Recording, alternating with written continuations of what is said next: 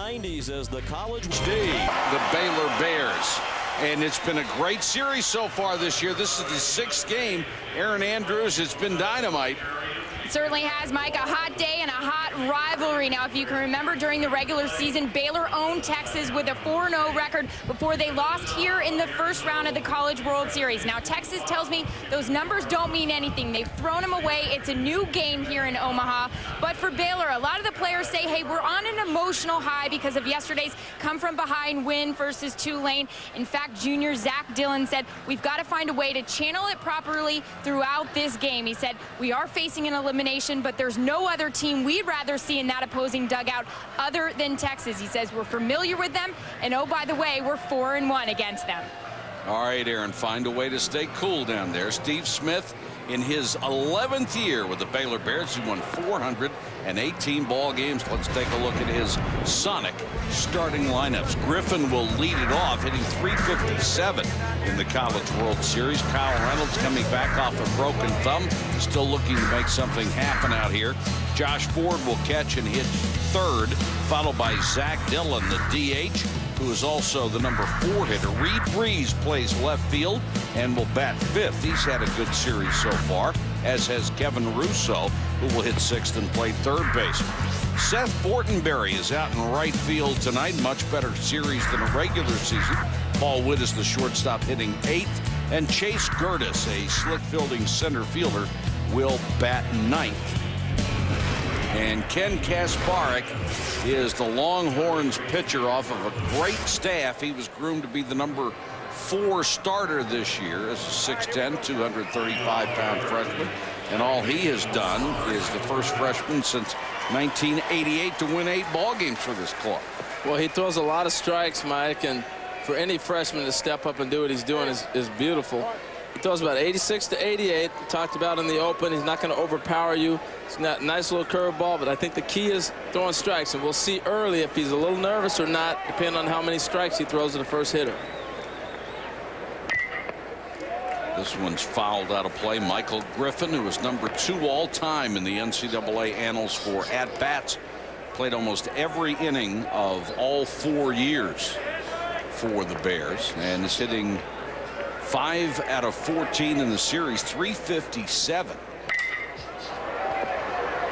This one skied to shallow right, and Stubbs comes on to make the catch. Take a look at the umpiring crew tonight behind the plate. Mike Conlon. Perry Costello will be down in first. Dan Mascaro is the second base umpire, and Steve Manders at third. And Dan Mascaro kind enough to be wearing hat cam for us tonight. We'll take a look at it in a second. You, you see what he sees. Great uh, looks at steal attempts and double plays. Yeah, that's great. I, have enjoyed that. That's one of the nice inventions. We got 22 cameras out here all over the field. Take you right inside the game. Kyle Reynolds coming off a broken thumb on his glove hand. Had started the first 55 games of the season at first base for this club. The sixth round draft choice of the Cubs. Hitting only one for 11 here in Omaha as he gets his third start. Talk with Kyle before the games. This ball's going to squeak into the dugout. He will be probably more likely signed, and he'll be playing shortstop when he moves to the Cub organization. That's where he played last year. And uh, natural shortstop. But you saw he swung the first two pitches. Griffin swung at the first two pitches. In the batting cages, they really were affected by the shadows yesterday. They felt like it played such a big difference in the game that their plan was to be aggressive early and let it go and try not to get deep in holes. Reynolds takes one outside the strike. So one two. And you can see those shadows, which are a factor in every evening game. Kasparek is high. We've been preaching time and time again about the difference between hitting an off-speed pitch and a fastball coming out of the shadow. It's always a little easier for the fastball. You have a tendency to be able to judge where that might end up on the pitch. You see him pull off of that one right there. Looked like a little changeup, and that's a very difficult pitch to pick up in the shadow. And he struck him out with it. The 41st strikeout in 67 innings of pitching for Kasparek. Here's a good look at it. Here's a good pitch. See how that ball broke away from him. right at the last second just ran off him and you see him try to stay with it unable to just stay with that ball and concentrate it just runs it's tough to pick up in the shadow and foul tipped into the glove of catcher Taylor Teagarden one of the nation's best and Johnny Bench finalist is the best catcher in the country this one down the right side will sneak into the stands as Chance Wheeless gave it a run for the Longhorns. What a long ways to get over there. Did. Wow. Good range. Josh Ford stands in out of Baytown, Texas, also a draft choice this year, the Diamondbacks in the ninth round. Great power to all fields. Really cut down on his strikeouts this year. Runs pretty well for a big guy, but he pops this one up on the infield into the sun for Robbie Hudson at second base. And a quick first inning for Kasparek. One, two, three. And at the end of one half inning, it's nothing, nothing. I just got Mariah. College World Series, Texas coming to bat, tied with Baylor. Nothing, nothing here in Omaha. And Augie Garrido has built a legend that nobody else can match as he won three national championships at Cal State Fullerton. Moved on to the Texas Longhorns and has won national championship to his credit since he moved to Austin, giving him four in all on the only man to win championships at two different schools. And the winningest coach of all time. He has racked up 1,539 victories and 388 at Texas in their fifth College World Series appearance since he got to Austin. His Sonic starting lineup familiar in three games here. Nick Peoples will lead it off. Then Drew Stubbs, the brilliantly athletic center fielder, will bat second.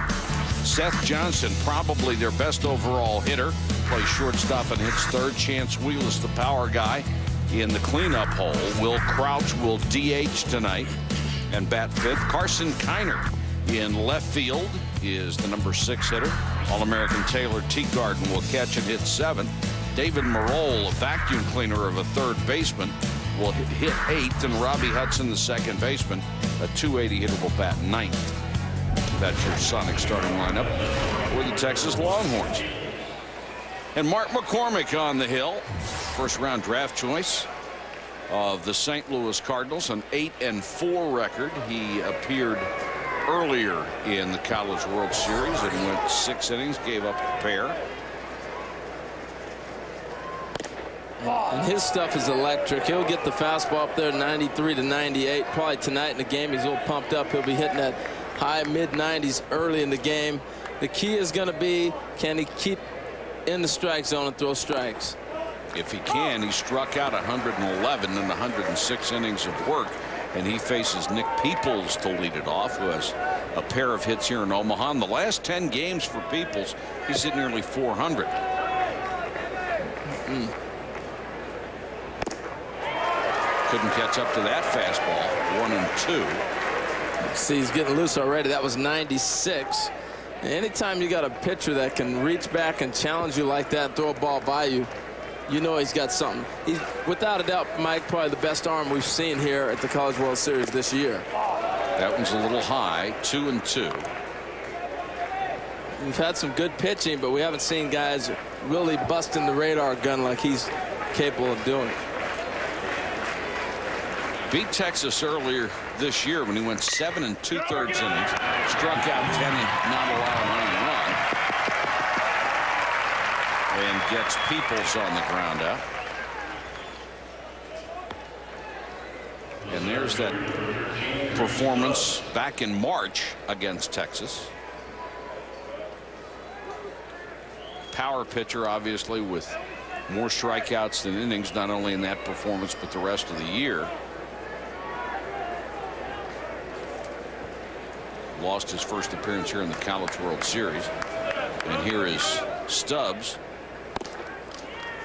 probably the fastest player in the College World Series field. Runs a 4-3-40 or better. A guy they just love to get aboard. Still learning how to play baseball. Fouls this one back in the press box. And, and McCormick's looked looked very impressive right now out the gate. you know, Drew Stubbs, I got a chance to speak with him a lot before the game. Just talking baseball, we were talking about the great jump he had on the steal the other day. He is really starting to catch on to uh, reading keys and a lot of the fundamental things that happen in the game. Takes this one outside. Last year was a real struggle for him and maybe a wake-up call when they got to Omaha. He was 0 for 8 and struck out six times. And it was obvious that he had this great athletic ability, but was not a baseball player yet. He's already done much better than that, two for five. A lot of it has to do with being familiar with the surroundings, too, and being able to relax. And, sure. And the other thing is sometimes you're hot a particular week, and another week you're not. Doesn't matter what happens. He got here. He was cold when he got to Omaha, and he never got a chance to heat up.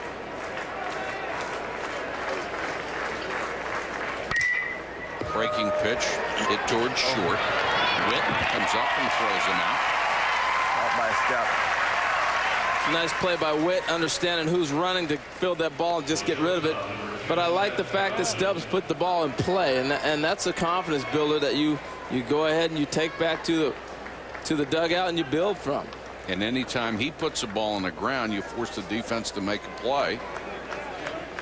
We have seen outstanding pitching, and for the most part, very good defense. Texas, one of the best defensive teams in the entire country.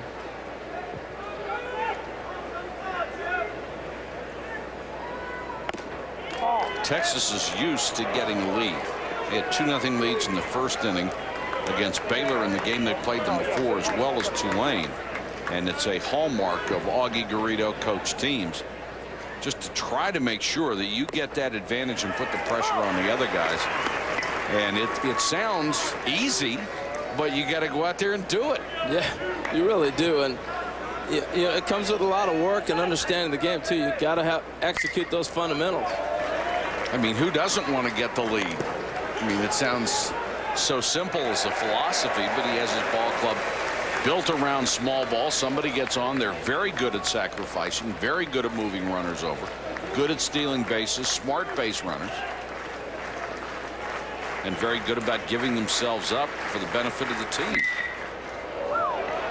Spoiled by Johnston, and that had some giddy up on it. Well, it did. I know the radar gun was 96 on that, but that looked like his best fastball of the night right there. McCormick looks so much more comfortable tonight than he did the first outing. Just looks like he's yes, got he great does. confidence and, and he's in a real good rhythm early. A lot of that has to do with mental makeup. Johnston, a 384 hitter, takes that breaking ball outside. He was a seventh round draft choice of the Orioles a year ago, came back for his senior year, which had to please everybody at Texas.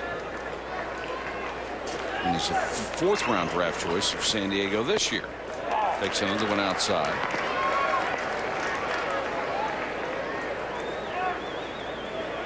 Well, when you see McCormick with that uh, 96, 97 mile an hour fastball, you almost wonder why he goes to anything more than the occasional breaking ball. You're right. Throws him a breaking ball on 3-2. Stabbed by Witt in the hole and doesn't have a chance.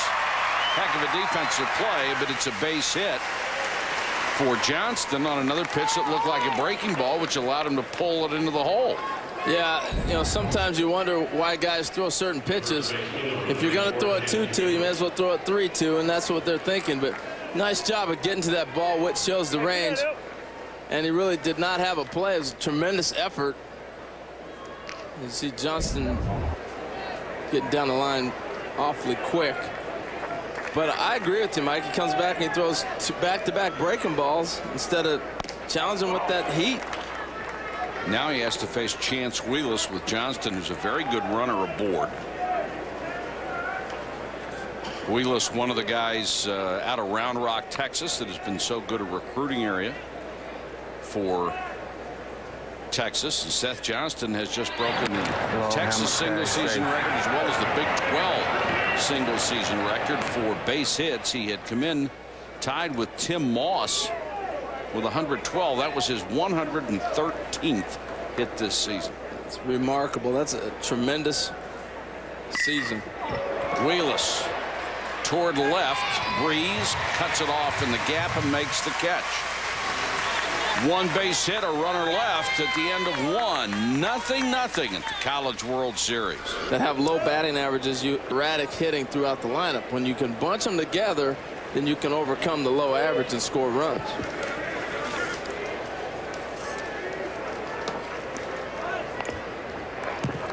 Squares the bunt and foul tips it off. Reid Brees, the younger brother of Drew. Now with the uh, San Diego Chargers as a quarterback. He's had a good College World Series, hitting above his regular season average. 351 as opposed to 282. He's really come on the last two two games. He really has swung the bat nice. Now Baylor talking with Steve Smith, he said, hey, I'll take a page right out of Augie's book and try to put the pressure on, get the runner in scoring position, and take my chances. It's amazing, Mike, how Augie has affected college baseball and his style of play. But if you are able to put pressure on the defense, good things are going to happen.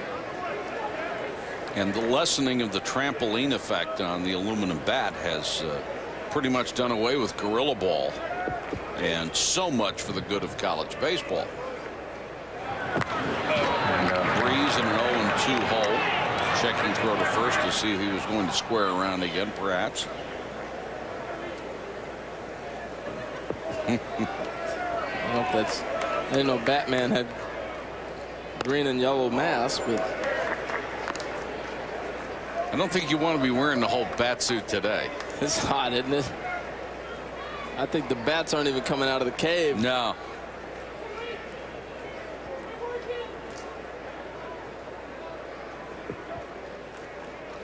One and two to Reid Brees. Dillon down at first led off the inning with a single.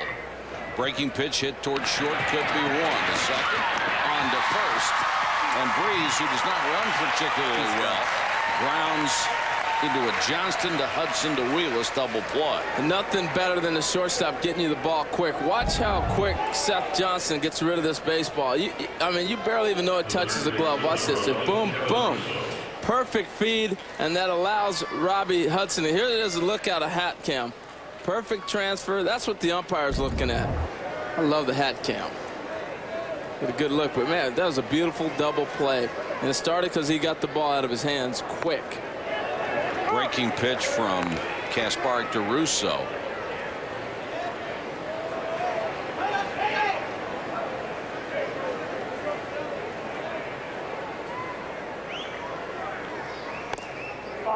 That one's downstairs. One and one. No score here in the second. Russo already with four hits in the College World Series. High fastball, one and two. Here's a look again from Hatcam on the double play. You see him touch the base and make the transfer. Now note the runner sliding straight into the base. That's what you have to do in college baseball. That's what the umpire is looking for in that transfer. All those things right there in front of him. That's what he's looking at. And I think the umpiring has been uh, the last couple of years has been spectacularly good. It really has. And and the one thing, Mike, they're they're bringing the best of the best, and they're and they're they're living up to it.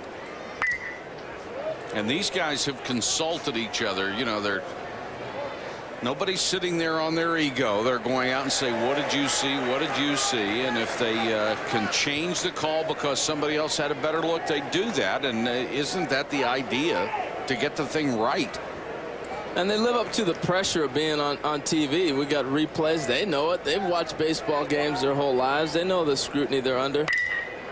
Breaking pitch hit outside of first. Wheeless gave it a dive. It was foul.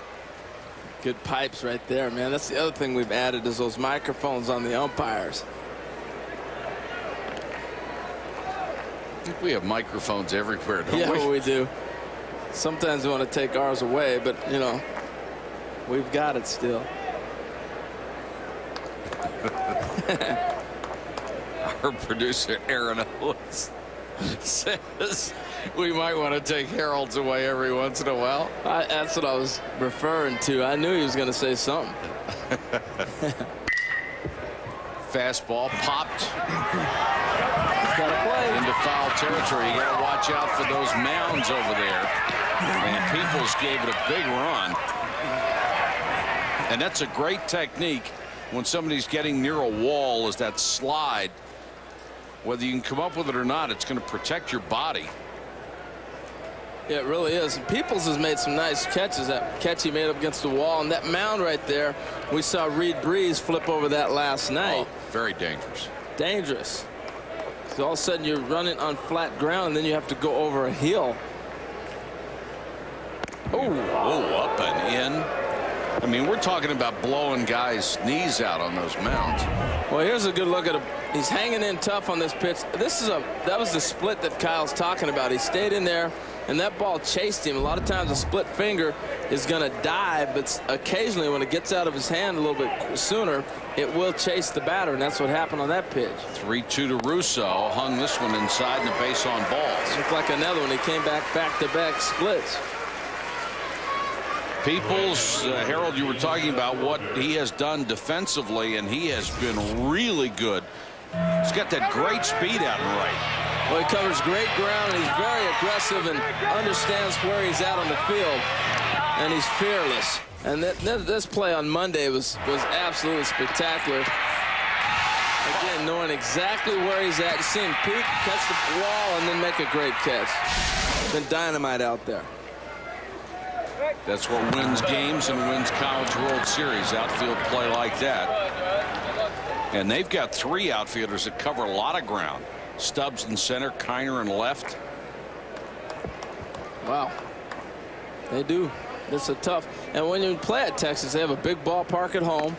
So they build their their team obviously according to their ballpark and that and that demands speed. AstroTurf infield, big outfield, and that's why their numbers. And I think the same thing goes with Baylor. There, there's not a lot of home runs because they play in a bigger right. ballpark than most. When there's no, no better friend for a pitcher than an outfielder who can make plays like that. Fastball fouled away. One and one to Russo. Or a check at Fortenberry. Had a, had a good talk with Seth in the batting cages, and I saw him last night. He had the bases loaded, and he popped up to the infield. And uh, he was still a little upset about that after the game. Couldn't wait to get in the box. But I said, man, you you got a great approach. There is no reason you're hitting down there at 180, 200. Exactly. And he said, you know, I just got buried early in the year, but he's really come on as of late. There's another nice stroke. Dead pull hitter lines it, and Hudson plucks it on the dive, robbed him of a base hit to center field that would have kept the inning alive. We'll go to the bottom of the second. It is nothing, nothing. Texas and Baylor.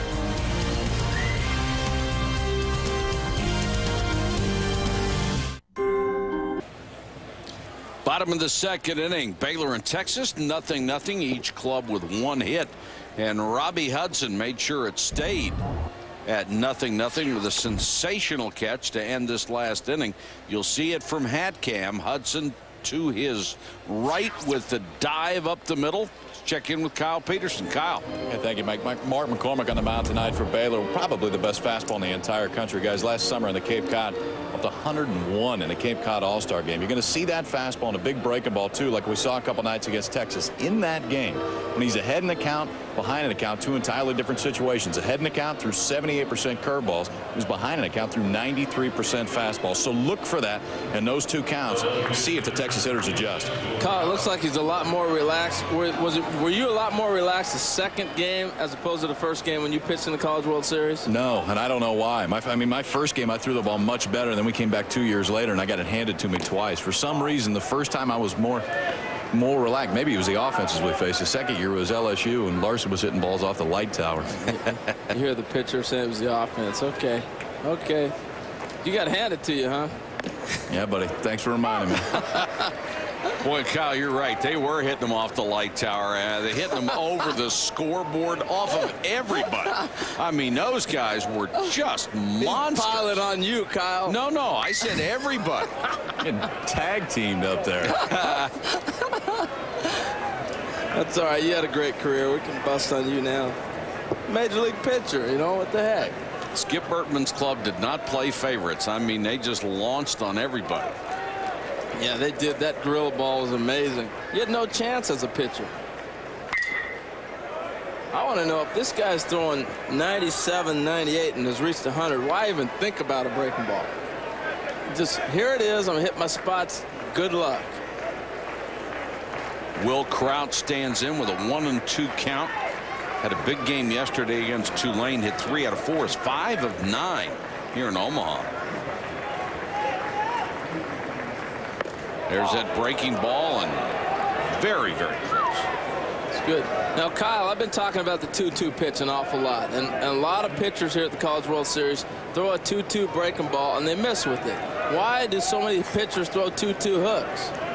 Well, I don't know. I mean, I you know, when I used to throw a 3 2 2 hook, I didn't mind getting a 3 2 because I know I could throw my changeup for a strike. Oh, oh. That was the time. Did you make the play? No, no, no. All right. Um, so I, you know, you just you got to have something so you know you can throw a fastball or something other than a fastball in a 3-2 count. If you're going to throw a breaking ball 2-2, you better be able to throw something other than a fastball 3-2. Doesn't have to be that breaking ball, but just something off speed.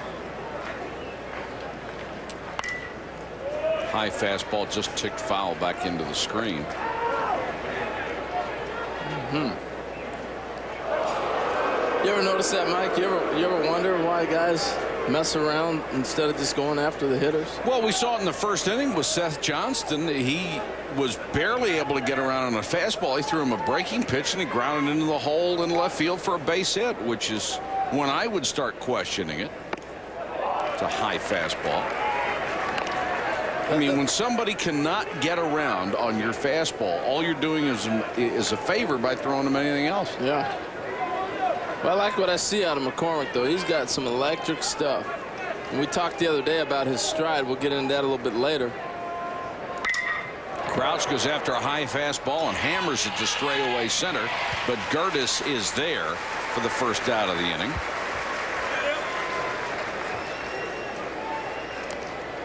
McCormick tonight with his 20th start of the season, which is a school record. I think a lot of that has to do with they've they've gone further than they ever have in the history of the school too, and he's a big part of it with the postseason wins and also throwing here in Omaha. So that's going to extend uh, anybody's season. You're going to get a few more starts out of it but his overall numbers really aren't that good. Eight and four is a record and a 2.95 ERA. There's a nice looking hook to Carson Kainer. Well, if this young man stays healthy, we're going to see him in the big leagues at some time. Pitching to aluminum bats can be deceptive, but the stuff you see is not. I remember when Mark Prior was here with USC. Yes, sir. And they lit Prior up, and next thing you know, but you could tell this guy had lights out stuff. McCormick in the first round taken by the Cardinals.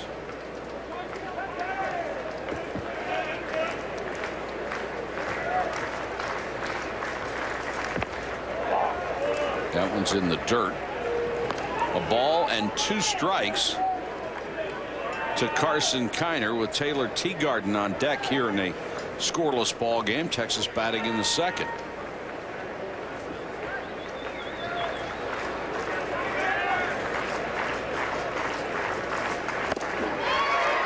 fanned at an outside fastball. Well, that's a tough one there because he steps, when he takes his motion, he steps at a right-hander and then slings it to the outside. And if he can reach that outside corner, that's almost an impossible pitch to hit. Look at where he steps and then throws that ball back across like that. You can forget it. Nobody is hitting that pitch right there.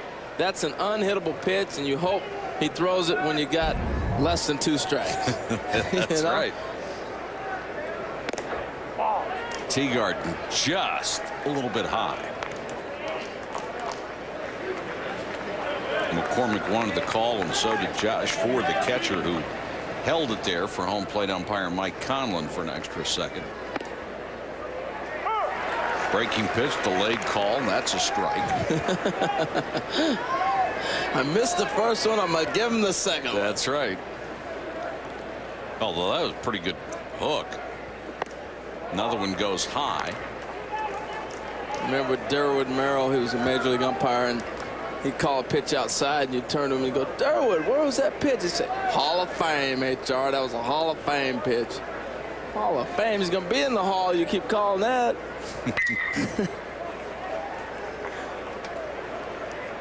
How much latitude did you have with umpires? You, you, you, had pretty good latitude. I mean, it all came down to relationships. You know, it, I, fortunately for me, being an infielder, I got to talk to him in the middle of the infield all the time. So I'll start buttering him up about the first day of the, knowing that he's going to be behind the plate. Eventually, you start talking to guys the whole day. Oh, and I'm sure they hadn't heard any of that before from anybody. oh, I'm you sure. were the first one to try that technique. yeah, yeah, I'm sure I was not. I agree with you. But, uh, you know, I had a great relationship with the umps. It was fun, and uh, I think it gives you a different perspective on the game. Off-speed pitch on 3-2, skied to center field.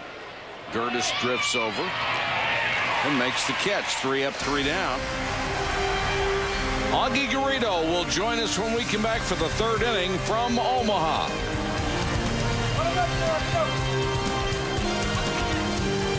Since 19. We're scoreless here at Omaha, Nebraska. Baylor and Texas going head-to-head, -head, joined right now by Augie Garrido. And, Coach, this is actually the first time this season in the College World Series you guys haven't scored a run in the first inning. How do you get some up there on that board? I hate that when that happens. Well, we just keep plugging away at it. Uh, McCormick's doing a good job of pitching. Ken Kasparek, very poised for a freshman like you told us he would be. How do you evaluate his outing so far? I think he's doing great. I um, I hope he will continue to stay down in the strike zone like he like he has been, and uh, we'll see how many innings we can get out of him. Coach, thanks. Thank you. Mike. All right, thanks very much, Erin. And Kasparek had an interesting situation in high school as a junior. He was projected as number one draft choice, but as a senior, his career regressed because he didn't have a catcher who could catch the stuff that he had. Yeah, that's broke, broke the hands on two guys. There was nobody left to catch him, and he ended up changing a lot of stuff to uh, accommodate that situation, and his draft status declined and his recruiting status declined. Paul Witt will lead it off, hitting only 251 this year and two for 12 here in the College World Series. And they weren't too happy about that last call. You heard a little barking coming out of their dugout. You know, the coaches work the umpires too. You know, they, they work them, and hopefully by the seventh or eighth inning, you start to get a call that maybe turns the tide for you. Missed with a breaking pitch. Two and two from the freshman.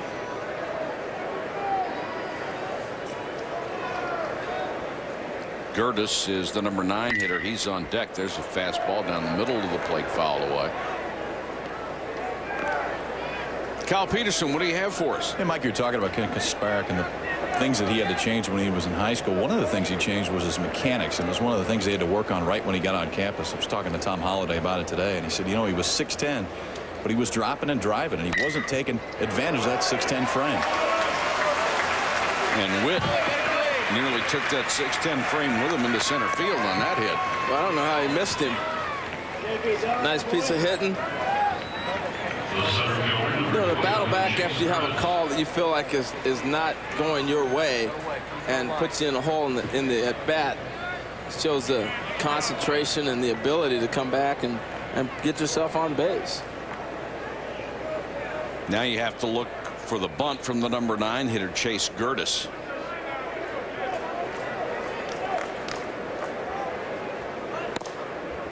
Although in the NCAA tournament he's the guy who has been the hottest hitter with runners in scoring position.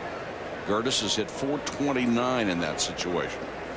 And he has Witt who has pretty good speed on down at first. And Steve Smith is not afraid to cut guys loose and try to steal a bag or pull back, hit and run. A lot of different things. He is not afraid to gamble. After what we saw yesterday, no, sir, in a situation where he had to have runs. He had a double steal, could have run himself out of an inning. Turned out that it worked. Here's a good bunt down the first base line. The sacrifice by Gertis. Advances Witt to second base with one out. And will take us back to the top of the order for Michael Griffin. The way these guys are pitching right now, one run looks pretty big. Well, it really does, and, and bunting is so important. And when you're bunting with an aluminum bat, or particularly anywhere, where you want to bunt that ball is right down here in the dirt. If you can bunt it in the dirt, you're gonna it's gonna deaden the ball, and it's gonna give you great success. A lot of times you shoot for that grass. This is a nice infield to bunt on because you got the skin cut a little bit deeper towards pitcher's mound than most fields. You got this whole area here to try to bunt into. Griffin started the game with a fly ball to center. Hitting 333 at the College World Series and 295 on the season. We're in the third of a scoreless game. Baylor must win to stay alive. Texas, the only undefeated team left out of the four in Omaha. A win tonight, and they have punched a ticket for the best two out of three finals starting Saturday.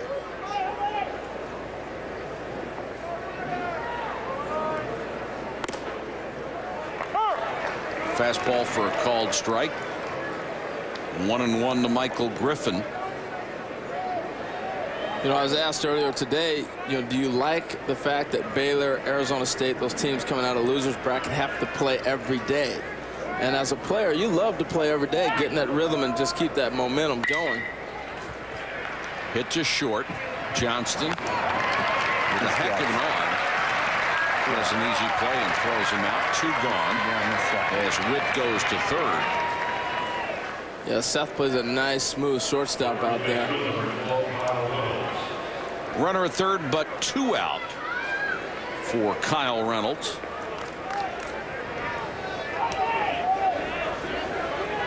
That broken thumb that he's coming off of bothers him more in the field than it does as a batter. Interesting. He can handle the bat, and you got the first baseman and the third baseman all back. You may see him drop a bunt for a base hit here and bring that run home.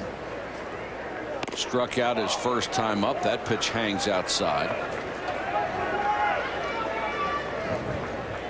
That's the interesting thing I see with college game. When the coaches give you the bunt sign, they do it. But a lot of guys don't recognize a bunt opportunity unless coach is giving you a sign. One after a fastball that was well out of the zone, one and two. They really missed Reynolds when he was out because he's one of the two legitimate power hitters they have with he and Ford. Griffin has occasional power as well, but that's it on this team. Nobody in double digits. Breaking ball caught the corner, struck him out. Reynolds has gone down on strikes, two at bats in a row. We'll talk to Steve Smith of Baylor when we come back to the College World Series.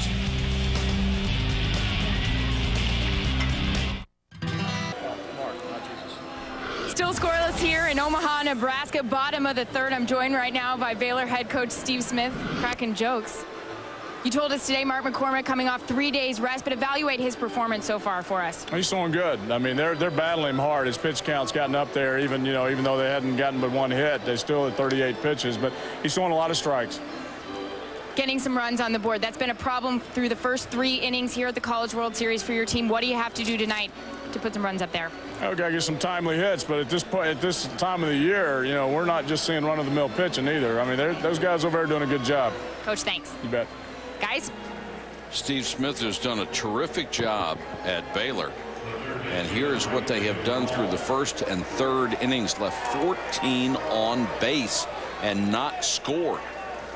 And combine that with Texas pitching staff going 17 consecutive scoreless innings pitched and not committed any errors. And you know why Texas has been able to jump on top of people. Yeah, it, it's it's tough when you're not scoring those runners in scoring position. But the good thing is you're putting them in position, and that's better than not having them. Nasty breaking pitch from McCormick to David Maroul, who is as good a college third baseman as you will see. He is just brilliant with a glove. Another breaking pitch Two balls and a strike to Maroul, who is only hitting 232 this year. In spite of that, a 23rd round draft pick of the San Francisco Giants.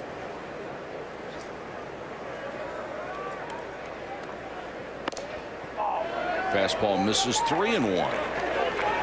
Maroul trying to get something started here in the Texas third.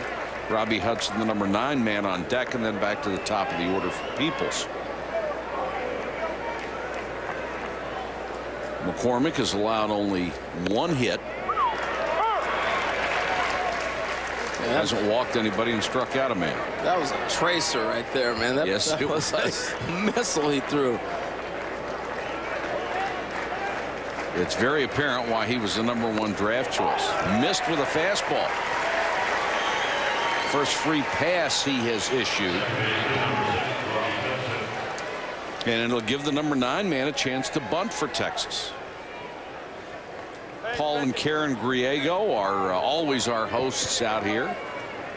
People deeply involved in the College World Series. Mm -hmm. And our uh, golfing buddy a couple of three times while in the two week span that we're out here. It's nice to have those golf course hookups, huh, Mike? Yes, it is. Texas has done such a brilliant job when the leadoff man gets on base to advance them and score them.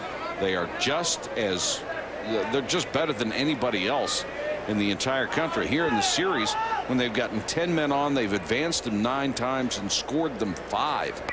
Is a tremendous mm. performance by them, and Hudson tries to bunt, and the ball is foul. I would not be surprised to see Hudson bunt again with two strikes. Tried to sacrifice nine times out of the 10. Eight have gotten the man over and scored five times. You can score half the time. Can't beat it. No, sir. Formula for success right there. And small ball is not an insult either. It's just a style. Well, Gene Mauch used to do it with the Angels. That's one of the reasons they they played so good in those days he was managing there. Good as a Hudson, a little swinging bunt there up the first base side. They'll throw him out. Works just as well as the sacrifice. As Maroul goes into second base. See right there, he threw that breaking pitch again. That allows you time to track it and be able to, to, to put the bat on the ball.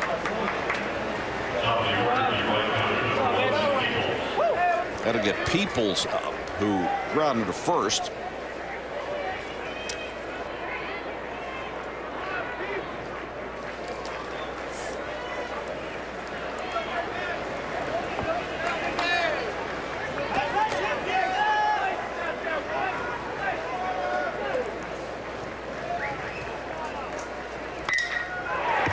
Peoples lines this one to right for a base hit.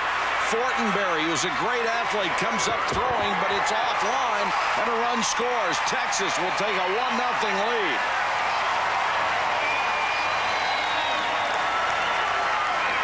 That was just a fine play all the way around. Fortenberry with a strong throw out there. This is all set up off the, the little swinging bunt, but that's a nice piece of hitting. He gets a fastball away. Good read at second. You see everybody moving in the right position. A strong throw, the catcher blocks it, runner finishes at second. That's just good baseball. An RBI single for Peoples, his 25th RBI of the year. And that will bring Drew Stubbs to the plate with one out and a runner at scoring position. Breaking pitch on the corner for a strike. You know, Mike, so often we talk about the hitter second time around adjusting to a pitcher, but Kyle, what's it for a pitcher? Are you thinking this time around I got to do something different? Yeah, it depends how they reacted the first time. What you see a lot of times is guys go through the first time in the order and they won't try to throw show too much if you don't have to. A lot more fastballs and breaking balls. And with McCormick, for the most part, it seems like he keeps the same approach, whether it's the first time, second time, third time through. But I like to try to stick to as many fastballs as I could, but if they start knocking it around the yard, you got to kind of throw everything up there you have. And David Maroul's walk is the lead run.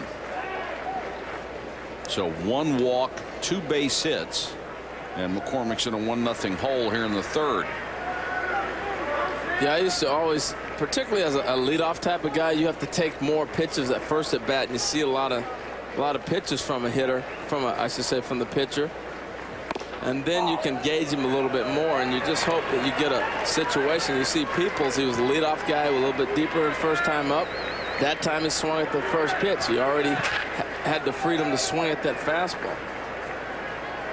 Two balls and a strike to Drew Stubbs. Big cut and didn't get it.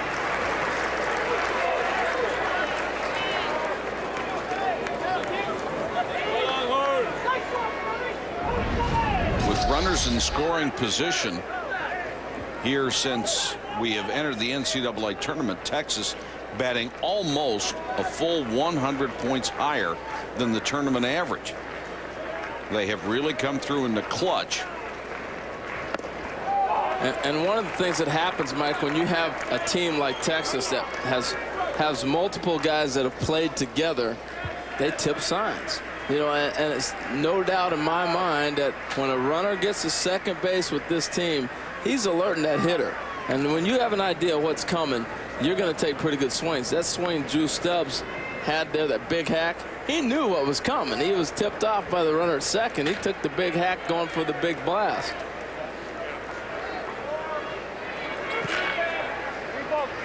You get the feeling at times McCormick could just hold up the grip and say, here it comes, boys. Yeah. And they're not going to get it anyway. Uh -uh. The 3-2 fastball foul out of play.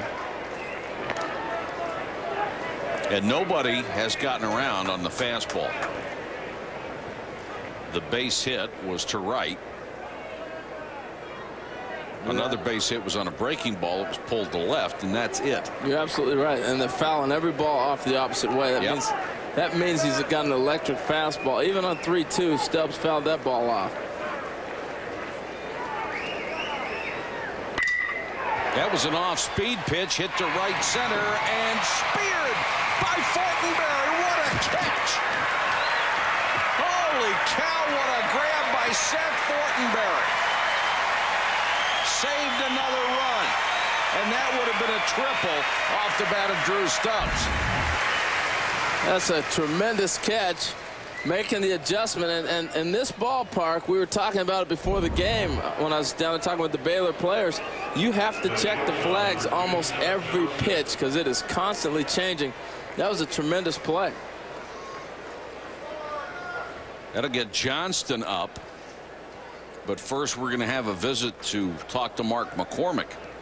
Well, I think one of the things Steve Smith's going to talk about is make sure you mix up the pitches. You know, you see Seth Johnston take a great swing 3-2. Right there, a 3-2 breaking ball, and he drills it to right center field.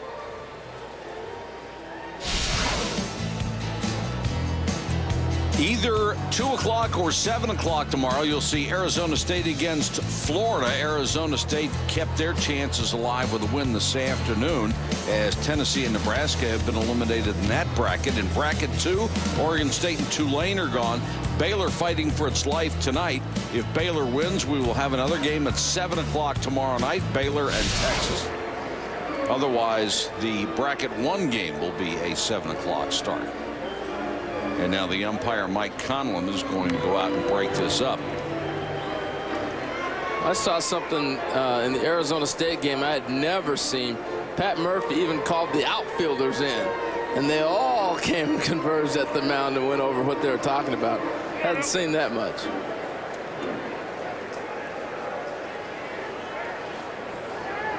Johnston with a single his first time up broke the Texas record that he shared with Tim Moss.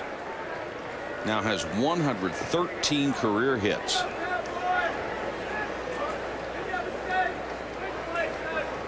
It's a, it's a great season, man. 113 hits in the season. That's phenomenal. Well, considering, I mean, people automatically in their mind compare it to major league numbers, but they have played 69 games. Yeah, it's 113 hits in 69 contests. And that is waking up out of bed getting hits. Yes, it is. Runner at second with two out now. Texas has taken the lead.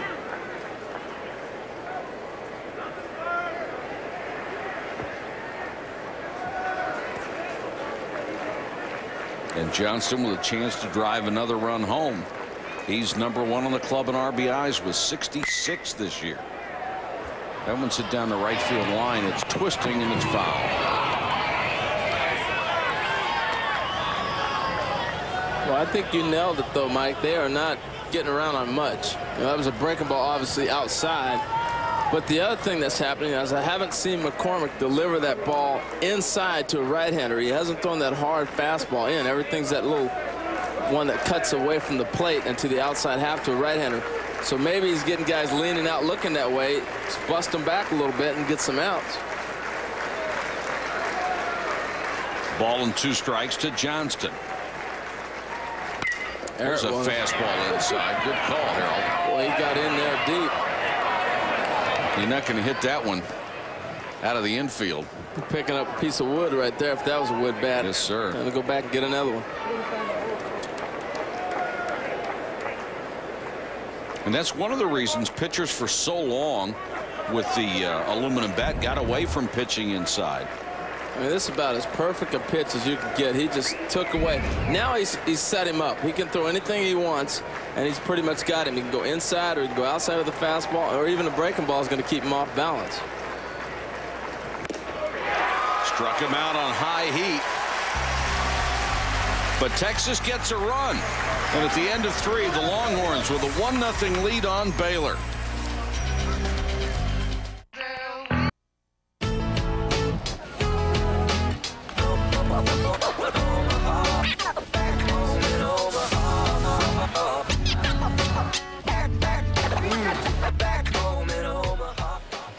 I don't think they have the food choices listed on NCAA.com, but that's about, or NCAAsports.com, but that's about the only thing you can't find on there. It's the official online home for all 88 NCAA championships. And Harold, it must be your new lifestyle. You have not been snacking nearly as much this year. No, I haven't. Or as we referred to it in the past as grazing here in the press box. You've No. done a much better job. Yeah, I just haven't. You know, I, I walk away and have to go running after I left Omaha. I just got tired of having to work out extra. We go to the fourth with the four, five, six hitters in the order. This ball smoked to deep left. And out of here off the bat of Zach Dillon. We're tied at one. First pitch he hit off Kasparek. Or excuse me, Josh Ford. Didn't even have time to get the scorebook set. First pitch from Kasparek. Boom. Out of here. and that's a hanging breaking ball. He must have just, just said, hey, next time I face him, I get a ball inside, I'm going to hammer it. And sure enough, he got a breaking pitch. And he crushed it.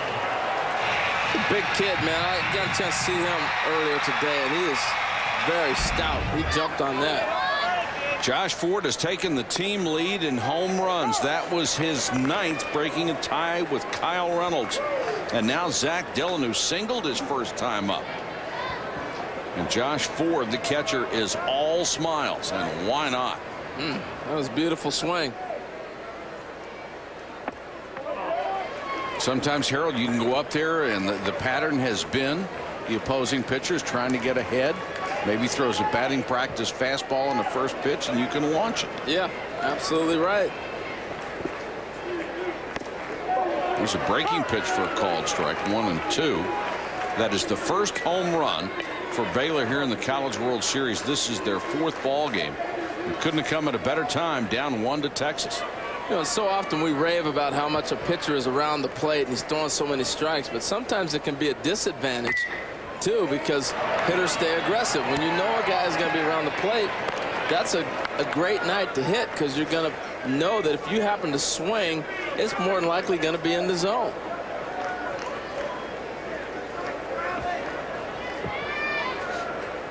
Mark Comento and Dave Dare keeping us up to date on all the uh, stats for this game as well as all the other games that we have done here in Omaha. They do a fine job. Yes, they do. Mark's mellow. Dave's always trying to tell me what's going on. This one in the air down the right field line. Peoples comes over, drifts into foul territory, and makes the catch for the first out. Well, you know, Dave's so animated. He's always running over here. He gets into the game. He's all excited. Got to get his note in. Mark just coolly hands the note over. But Dave's like, got to get it in. Here it is. Right here. Here's the situation. You know, Mark's just cool. He writes a little note. Hey, Does Dave really sound like that? Oh, yeah. Does he?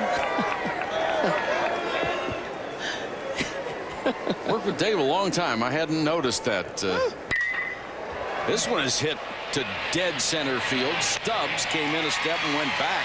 Hit hard, but out off the bat of Reid Brees.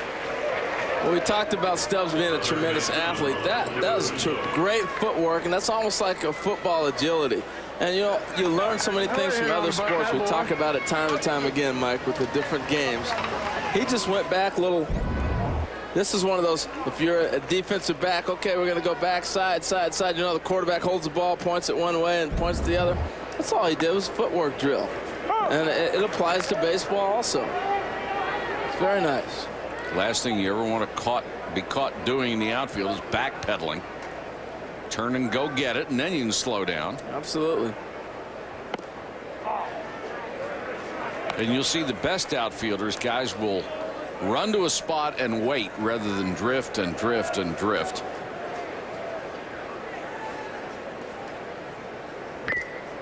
Hmm, foul tipped.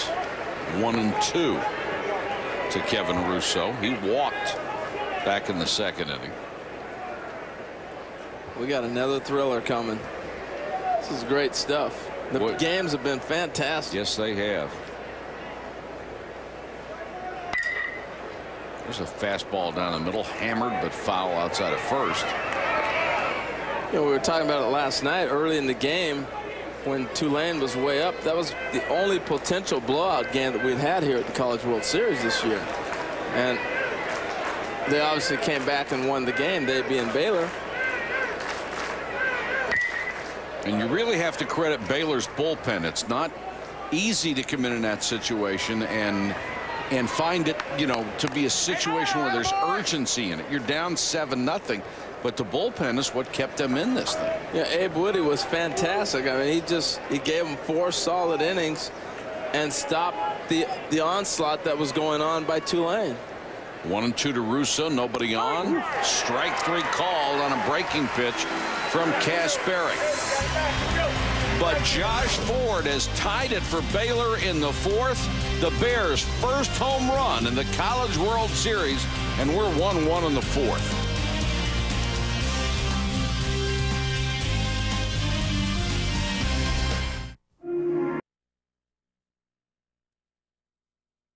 Erin.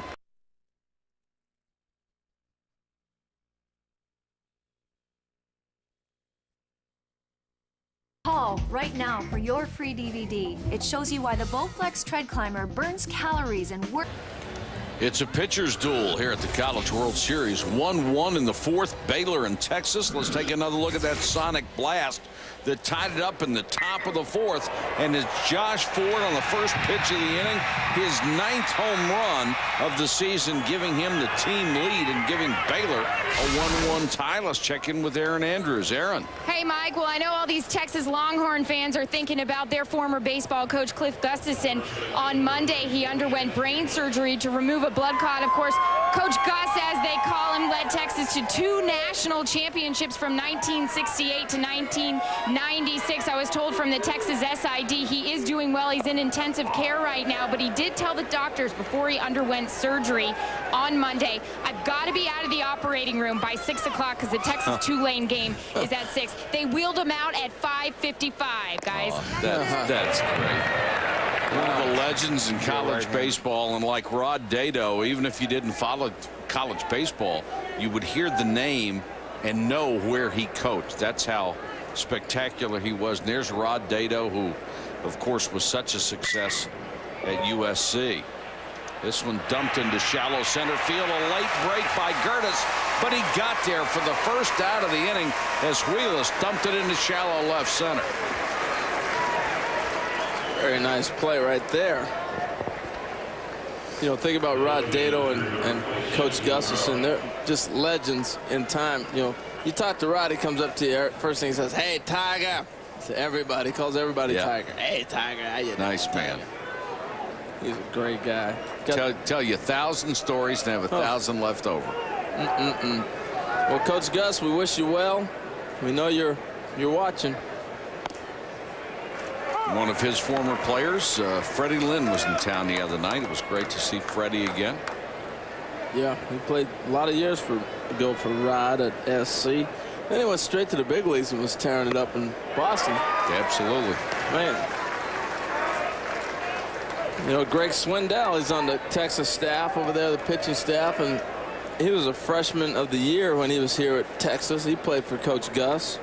He, he was telling me today he pitched three complete games at the College World Series. That's hard to do. Wow. Well, if you watch Coach's teams, Coach Gustafson, he was not afraid to throw those pitches. Oh, no. He let them log some innings. A couple of days rest, go out there and throw 130. That's exactly it. That one's popped up on the infield. Griffin skips back out on the grass grass rather makes the catch. Two gone. Rod Dedeaux won the national championship 10 times. Skip Bertman got five at LSU and Augie still working with four. Three at Cal State Fullerton one at Texas. He's got a shot at his fifth this year the only undefeated team left. If they win tomorrow they would go directly to the final pairing starting Saturday. It was, uh, giving Coach Dedeaux a hard time the other day. You know, Trojan through and through, and I said, you know, Oregon State gave it to SC up in Corvallis. I said, but that probably wouldn't happen when you were coaching. Oh, no, no way, Tiger. no way.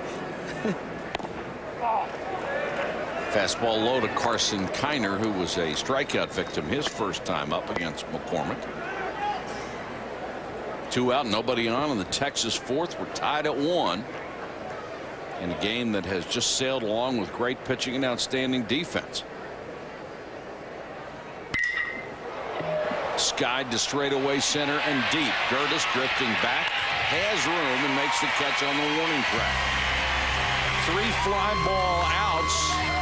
We have finished four in a 1-1 game in Omaha.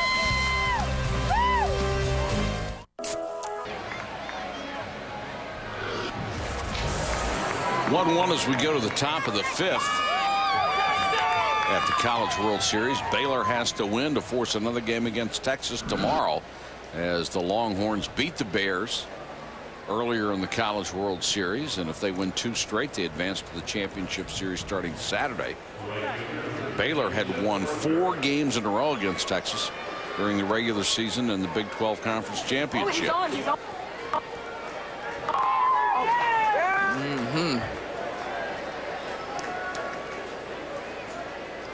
Bottom third of the Baylor order will face Kasparek, Fortenberry, Witt, and Gertis. Fortenberry hit a rocket last time that Robbie Hudson speared to end the half inning. I like the way he swings the bat. I think he's going to be a pretty good hitter someday. Well, he sure proved he can get around on anything on the inner half of the plate. Yes, he can. He's primarily a pull hitter was the reports, and he hasn't really seen a lot of balls hit the left field. We haven't seen it, I should say, but I like his approach. He's got a nice balanced setup. It looks like he doesn't get fooled on a whole lot of pitches. Hitting under 200 for the season. And you watch him swing and you just wonder how that's possible. Three out of nine here in Omaha he's hit a lot of atom balls, and you know, I mean that happened earlier with Hudson sparing that one. Yeah. Can't be anything more frustrating than hitting the ball hard and having somebody stand right in front of it. They say those things even out, but if you're a hitter, you don't really believe that. No, they never even out. That doesn't happen.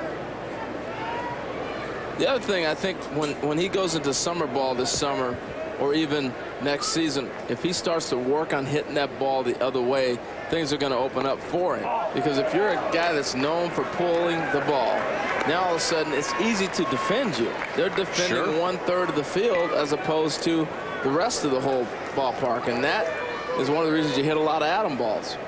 And it's interesting. Stubbs is playing three steps toward left center in center field.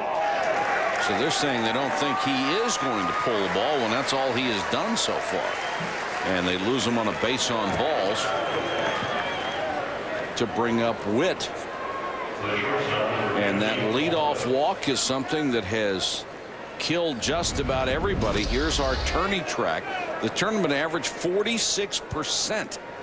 So almost half the time the leadoff man walks, he scores. That it is an enormous advantage. Wow.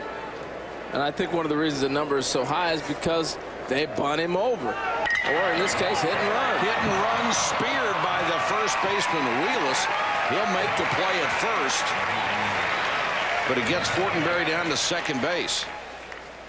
I like the call by Steve Smith. He's a gambler, man. He likes to do a lot of things.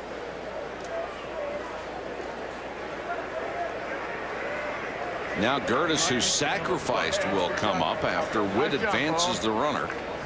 And his job in that situation is just get the bat on the ball. Well, get the bat on the ball. And look, if Wheeless isn't, as he's six seven. This ball is caught by a guy playing first base that's six foot seven and jumps. Other than that, we're looking at a first and third situation with no outs. As a result, you got the runner at second base. So nice job of hitting. But I love the call because nobody expected it. I was looking for a bunt. How about you? Absolutely. I mean, that's what they've been doing. Stewart and Cody are up in the bullpen. Two guys who have not seen any action here in Omaha because the starting pitching has been so good and J. Brent Cox has come in to finish them off. Gertis goes after a pitch just on top of the plate and misses. Well, Augie said this morning, if I can get the freshman to get me four or five innings, I'll be happy. And he's into the fifth. Only allowed three hits to the Bears.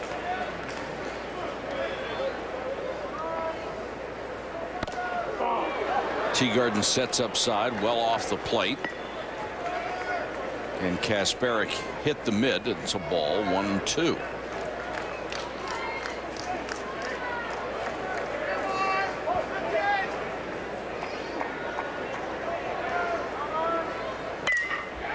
Curtis takes one inside, lofts it down the right field line, and foul. And another diving try by Peoples, who gave himself up face first into the track. Wow. That makes you want to stand up and cheer right there. That is a tremendous effort. And he is going so hard. Watch how far he slides. That is because of the speed Oh. he generated and the distance that he covered. Great effort, and he slides, and the only thing that stopped him was the wall. He'd still be sliding. I mean, that is that speaks volumes for his speed and his ability to, to even get over there. Well, he's not going to leave anything on the field, is he? Mm-mm. And we've seen him play, make a couple of tremendous plays and effort everywhere. There's a strike three called. Fooled him with a fastball, came inside and caught part of the plate. You know what's interesting about this is a lot of times as a left-handed hitter when the catcher sets up outside look at the shadow. It comes back over and it tells you where he's at but the ball tricks him. Watch where Teagarden set up and you can see that shadow as a hitter so you know he's going to be set up outside and the ball ended up inside. The pitcher missed his spot by that much. I think he fooled the hitter because sometimes you can set up and you can you can see that shadow of the catcher particularly this time of night Right. and you're saying, okay, set up outside, ball's going to be out there, and the next thing you know, he's reaching to get a ball inside. You're fooled. And sometimes it fools the umpire so much when he sees the catcher reach that he won't give you that call. But he was all over that one. 70 pitches for Kasparek, and he is visited, and he'll stay with two out here in the fifth as he will face the top of the order in Michael Griffin. I mean, here's what I'm talking about. Look at the shadow here, out here of the umpire and the catcher. Now, you can, this time of night, as you get more advanced and you start to try to figure out ways to to get a little bit of an advantage, you can see where he's setting up at. the problem is, if the pitcher doesn't hit the spot like last time, you're fooled. Used to look for that a lot. Griffin 0 for 2 today. His average down at 294. Sure. I mean, if uh, if the sun is going to tell you where he is, why not look? Absolutely. Missed outside with a breaking pitch. 2 and 0 to Griffin. Runner at second with two men out in the Baylor fifth. The Bears with a chance here to take the lead with a base hit. Well, he's got to drive him in or it's going to mess up our stat with moving the runner to second. Fastball too high. Exactly. Hmm, we got a lot of people working on this kind of stuff. It's amazing all the, the trends. We have to bring that guy from Stanford back in here, Mr. Peterson, later on, have him explain all the statistical stuff. You know, we need a guy like that to explain it because I sure can't. Strike called as Griffin had already taken a couple of steps toward first. Thought he had a walk. And Mike Conlon, the home plate umpire, usually has a second or two delay in his calls.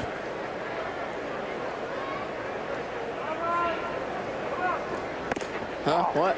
What, Dave? Oh, yeah. I know Dave's jumping up and down with it. They were kind of pitching around him because Reynolds has struck out and he struggled a little bit around this guy. So absolutely right. You know, Griffin has been the hottest hitter on this team. He had the big two-run single last night. And uh, now you want to face a guy that you think you can get out. And leads them in RBIs in the series with four, but it brings up the left-hander Reynolds, even though he has fanned twice. It's righty against lefty. Reynolds, of course, trying to get his timing back after missing those games with a broken thumb and is one for 13 here in Omaha. So he's presented with a big situation if he can come through with a hit. Mm, and that's going to hurt that thumb. I think you could see him flinch.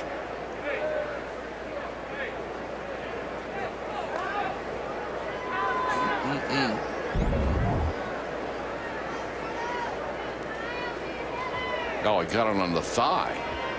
I thought it hit his thumbs. I did too. I'm sure he would much rather have one off the thigh than have anything that would get up in that injured hand that he's recovering from. Absolutely right. Great camera work right there, guys. 0-1 to Kasparek. Oh, 0-2 from Kasparek. He's used two different types of breaking pitches, one real hard and then another one slower. And it's one thing to know a guy's going to throw you a hook, but it's another to gauge it when he starts changing speeds on it. Foul back toward us. Count rides at 0-2.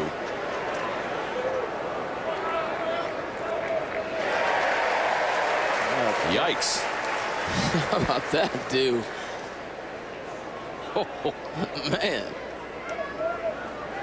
She's got her horns. Oh, I don't. I don't know, man. there's, there's so many circumstances that could scare you to death. Hmm? Everybody's getting out of her way, too. yeah, I wouldn't. I wouldn't stand there. I guess if you need to get back to your seat, just split your hair, they'll get out of the way. I don't even know how you do that. this could be everything in the jungle but the hunter. this one's fouled back again, one and two. I'm afraid to ask you what that means, but well, more power to you. If That you love your school that much, go for it. Scott Johnson, our director, says if you have the seat behind her, you've got to look through the V yeah. to see the game. Fastball outside two and two. This is a big situation for Kasparek. And for Baylor, they have two runners aboard. The lead run down at second base is Fortenberry. Lit off the inning with a walk. And now it's three and two to Reynolds, and the runners will get that extra step on the full count. And if you're a Texas fan, you might be wondering, why didn't they go to Buck Cody in this situation? You know, Buck Cody has really struggled with his control, so they're kind of reluctant to go to him, particularly in, in a situation like this. So that's why they stayed with the freshman to face the lefty. Two on, two out, full count to Kyle Reynolds, who fanned the first two times up and is only one for 13 here in Omaha. Goes after a high fastball, fouls it back again. He's had a couple of good cuts at Kasparek fastballs. And Reynolds in those 55 games that he played had eight home runs, which was tied for the team lead.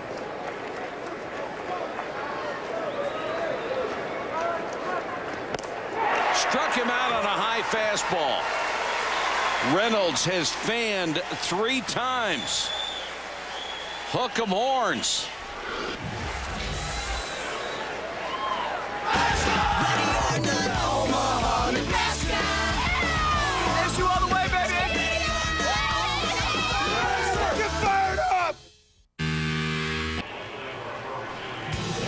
Is 1-1 in the fifth. Let's take a look at our Diet Coke game track. And Josh Ford supplied the power. The only run for Baylor with a solo home run. Nick Peoples an RBI single for Texas. The pitching has been superb. Mark McCormick has allowed three hits. Ken Kasparek only, or two hits. Kasparek has allowed only three, each one run. And that's where we stand now as we go to the Texas fifth inning. Let's check in with Kyle Peters. Yeah, Harold, we were talking earlier about just kind of the changes that, that, sometimes pitchers do from the first time through the lineup and then after that. Well, tonight, some of the changes we've seen out of McCormick have been this second time he's faced Texas as opposed to the first time. We talked off the open about how often when he gets ahead in the county throw the breaking ball. Look how that goes down now 52% tonight. So he's mixing that fastball in a lot more and the fastball a lot less when he's behind in the count. So some guys make a change once or twice through the lineup. This time McCormick really different approach this time than he had against Texas just three days ago.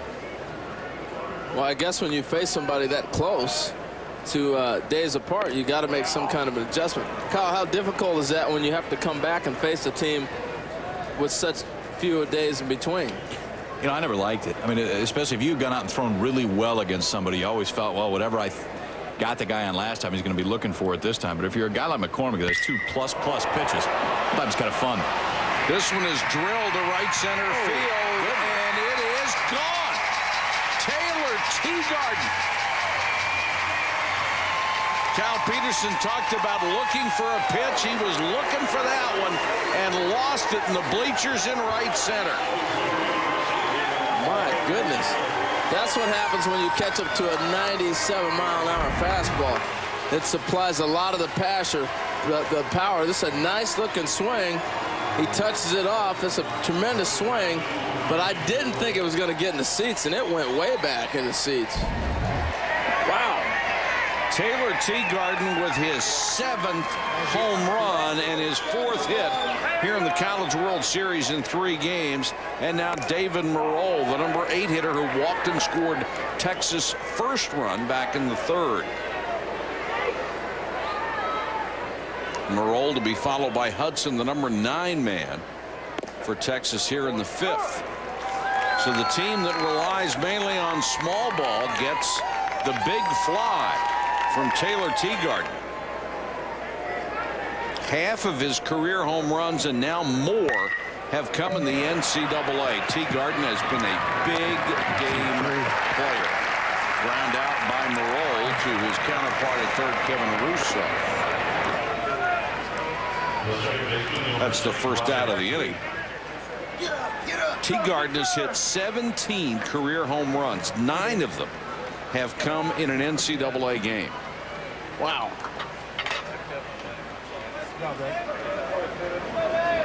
Well, that's why he's up for the Johnny Bench Award as the nation's top catcher. He, he's a lot bigger than I thought he was, too. A couple of guys out here that are real good catchers that do not have that uh, catcher's build that you've come to assume. They're more lean and athletic. You don't know if, if they make the pros, if they will be catchers.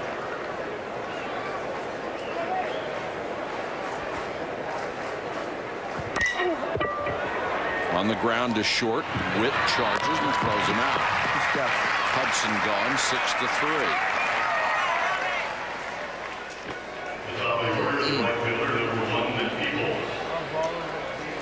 To take us back to the top of the order for Peoples to face Mark McCormick. Steve Smith said if he got four or five innings out of McCormick, who pitched six in his first start, he would be happy. And certainly he's got to be pleased with the performance here, even though he gave up his fifth run on the solo homer or his second run on the solo homer. It's through five innings.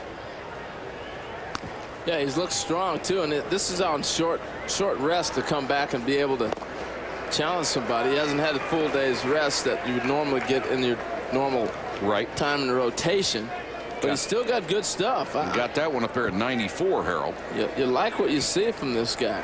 But he has thrown 80 pitches, and that one came inside, and I think caught the bat handle. And Peoples is fortunate it didn't catch anything else. Well, this is a pitch he's got to throw. He's got to come back into that fastball. If you remember when he was pitching to Seth Davidson, you see that off the knob of the bat right there. Yes, it was a foul ball, but he, he tied Davidson up, and then he set him up for every pitch. Same thing, one, two. He's got Peoples. Pretty much any pitch he wants to throw, he could exploit that zone. The home run to Teagarden was a ball away. Most of right-handers he's been pitching away. He's got to come back inside for effect to keep him off that fastball. Set up inside and missed badly with a fastball. It's three and two to Peoples, who is one for two with a single tonight.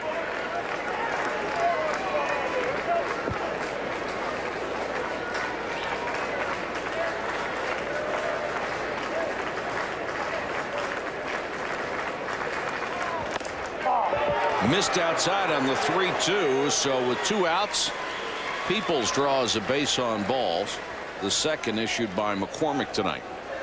Well, the one thing I like about McCormick is he wanted the baseball, Mike. And remember, we were talking to Steve Smith this morning. He said, Right. "Hey, I started getting phone calls, text messages, everything from all his pitching staff." That's and right. That's that's great when you have kids saying, "I want the baseball. I want to pitch." That'll give Drew Stubbs a chance to hit.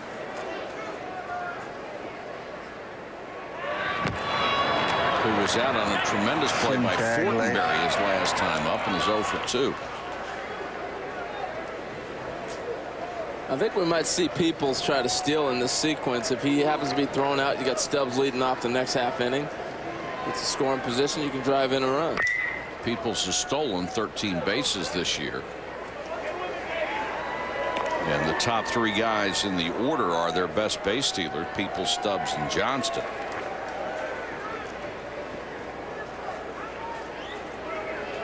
Well, they put pressure on you every way they can think of. Whether it's with the bunt, hit and run, or the steal. Have a one-run lead here in the fifth. Called strike to Drew Stubbs. 0-2.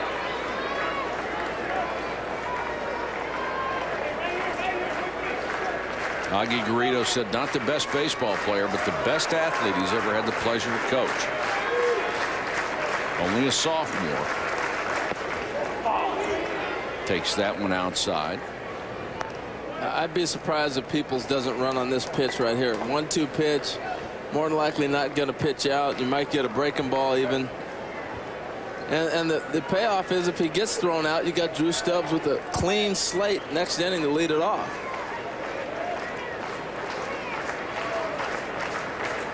Not running, and it's foul tipped at the plate. Good looking swing right there. One thing I like about McCormick is he's saying here, yeah, I got two strikes on you. I'm not worried. If he wants to run, let him run. I'm coming right after with my best stuff. Not messing around at all.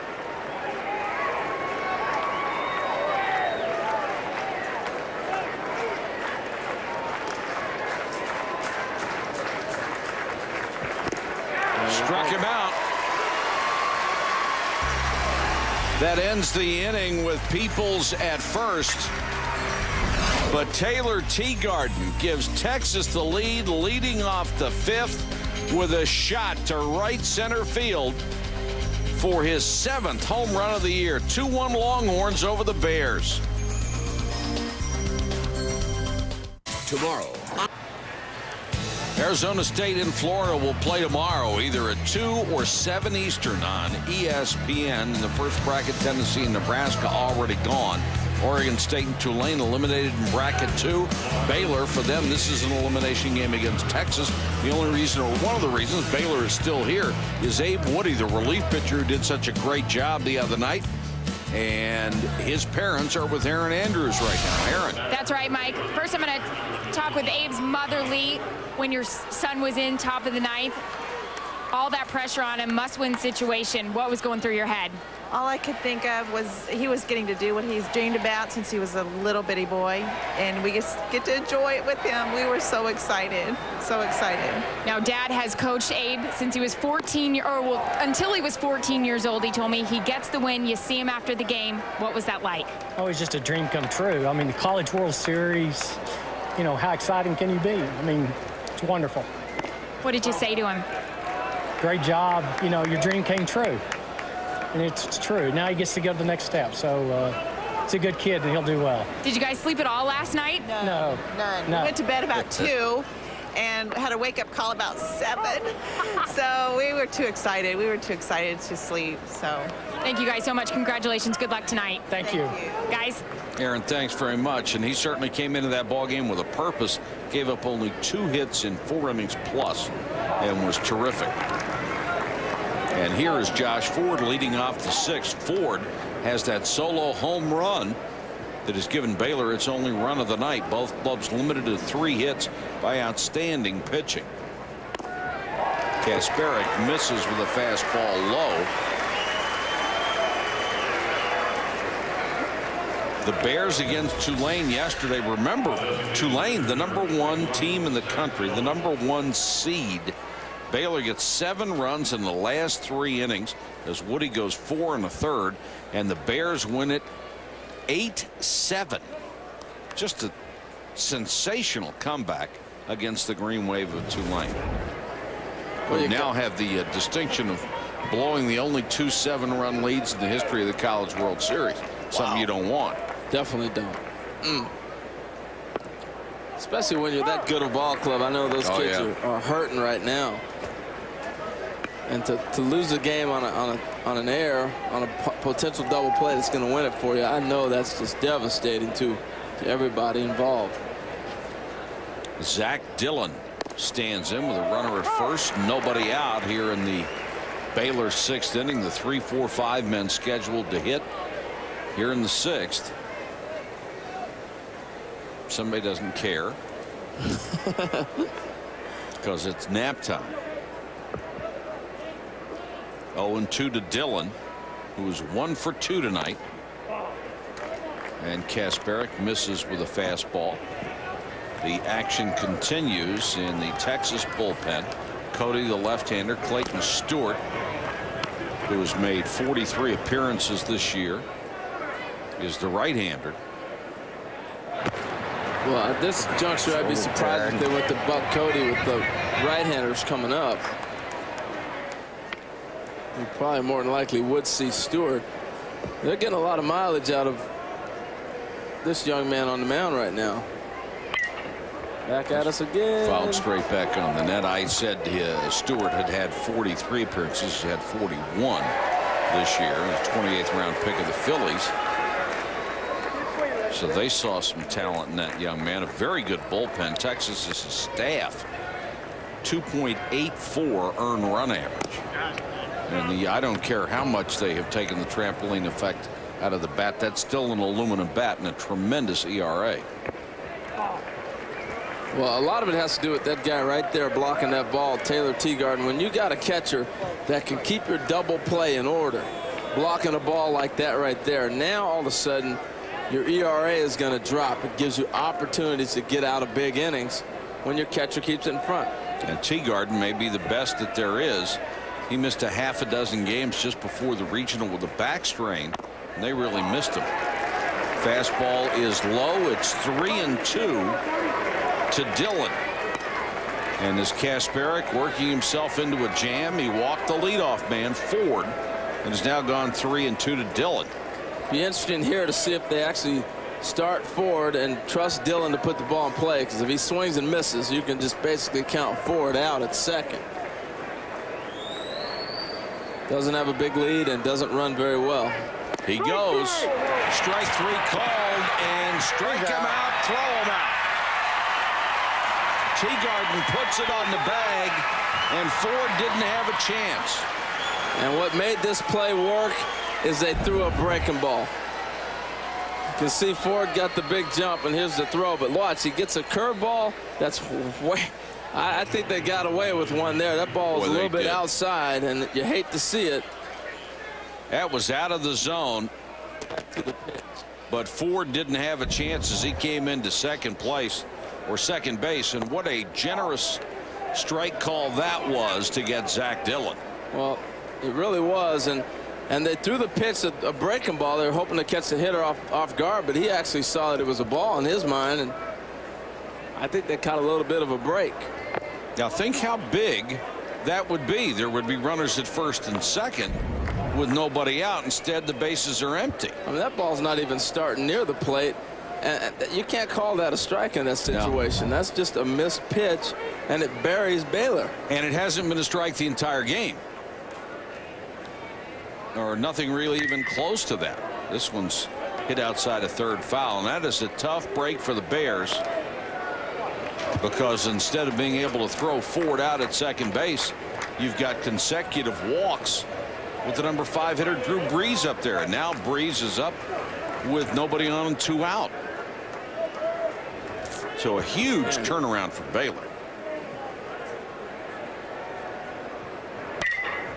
Fastball hit right at the shortstop Seth Johnston who hasn't missed anything in the College World Series.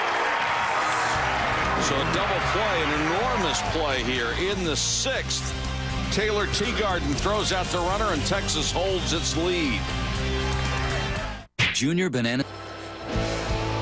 The tension rises as the competition intensifies here at the College World Series in Omaha. Old rivals Baylor and Texas going at it for the Bears and it's an elimination game for Texas a chance to go directly to Saturday's championship final series. And it's two to one Texas here as we go to the bottom of the sixth. Tomorrow night, the NBA title will be on the line. Game seven of the finals on ABC. Either the Spurs or the Pistons will be crowned champion. The NBA finals on ABC tomorrow night, 8:30 Eastern time. Spurs are a little bit better than I thought they were.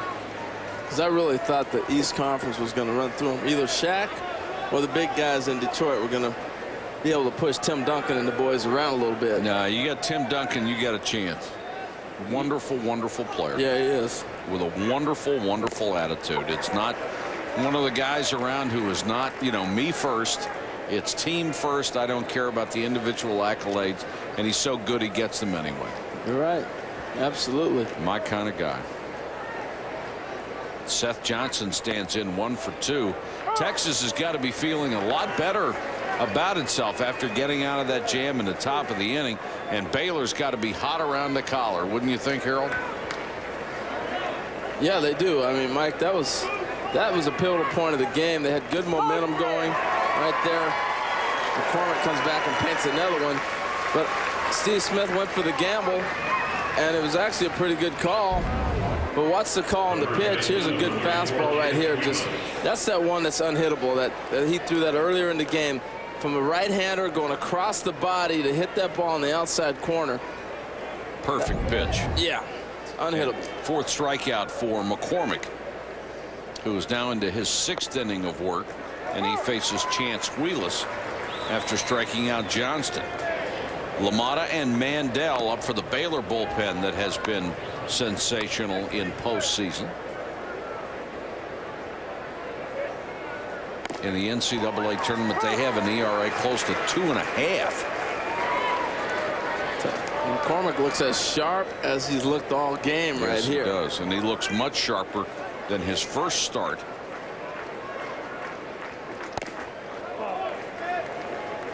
When he started off the game with a 97 mile an hour fastball and has shown you a very good hook on top of it and has had command of just about everything.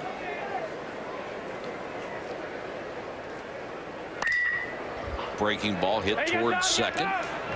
Griffin. This is uh, he hurt his shoulder. a little shoulder injury. Remember yesterday he had a check two days night two nights ago he had a check swing and hurt his shoulder. And right here the shoulder uh, went out again on Chance Wheeless. Now earlier he had a staph infection in the knee, but Monday here's the check swing that he had on his shoulder. Right there hurts his shoulder. And and that bottom hand is what you pull the bat through as a left-hander. Right here same thing. You can hear him grimace. That was earlier. And that's uh, what happened with him. Wheeless is the second out of the inning and they'll tend to him. And that was earlier in the game. Now this is the pitch that he didn't run out right here. Here's a ball away, and you can see immediately as he extends that shoulder. Could be a big loss if they lose him. Fortunately, he when he was leaving the field, he wasn't holding it like it had been dislocated. But that's uh, he was in obvious pain from it and tremendous pain. And you just hate to see a kid get hurt here at the College World Series, knowing how badly they want to play. And if you ever leave it up to the player, he's going to play. He's that's why play. you got to have coaches and trainers step in and say, "That's it. You had enough." This one's lofted to shallow right. Fortenberry comes on, calls everybody off, and makes the catch to retire Will Crouch. We played six full. Texas leads two to one. Welcome back to the calendars where Texas leads Baylor two to one. We hope your 4th of July plans will include five on the 4th. You'll have the chance to see five Major League Baseball games in high definition, but only if you have ESPN HD and ESPN 2 HD. So if you haven't yet upgraded to high definition, this is what you've been waiting for. Five on the 4th. Erin Andrews has an update on Chance Wheeless. Erin?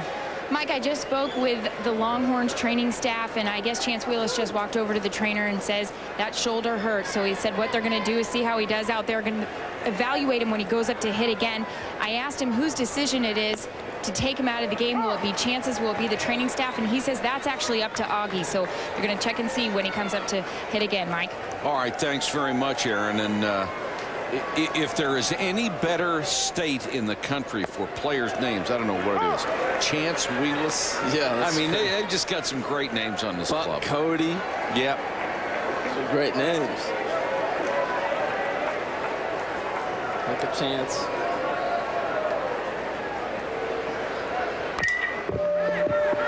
Grounded slowly toward third. Going to be a tough play for Moore. Not in time. Well, he went, a, he went a long ways to go get that. Didn't he? He just couldn't get out of the web of his glove. Talked about before, he's got his, look where he starts at. Now watch how far he one, two, three, four, five, six, seven, eight. Eight steps to go get that ball and make it a bang hmm. bang play. And if he doesn't doesn't double clutch, he's out. That's amazing how far he went to get that ball. Remarkable range. Kasparek will start the seventh inning, giving up an infield single. He has struck out six, which matches a career high, and now thrown 101 pitches. And he will face Fortenberry as we go to the seventh man in the order. Now you're at the bottom of the order. Do you sacrifice with Fortenberry and bring up the 8-9 hitters? I, I think they let him swing here. You got the hole between first and second. They're going to bunt it. But I, I, I, think they like to swing, but I'm surprised they bunt. Now, remember the last time they were in this situation, too. I, I don't know what Steve Smith's going to do. He double still, had a double steal last night down 8-3 right. in the eighth.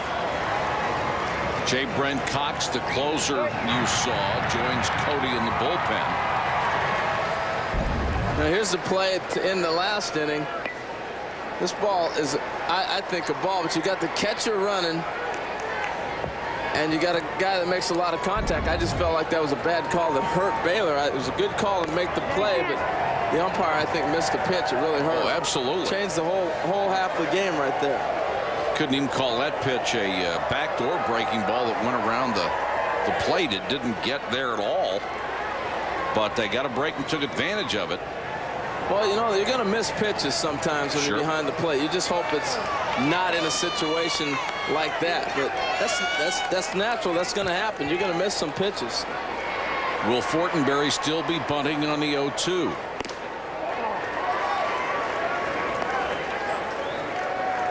High fastball from Kasparek, the 6'10", 235-pound freshman who has eight wins, the best for a Texas freshman since 1988.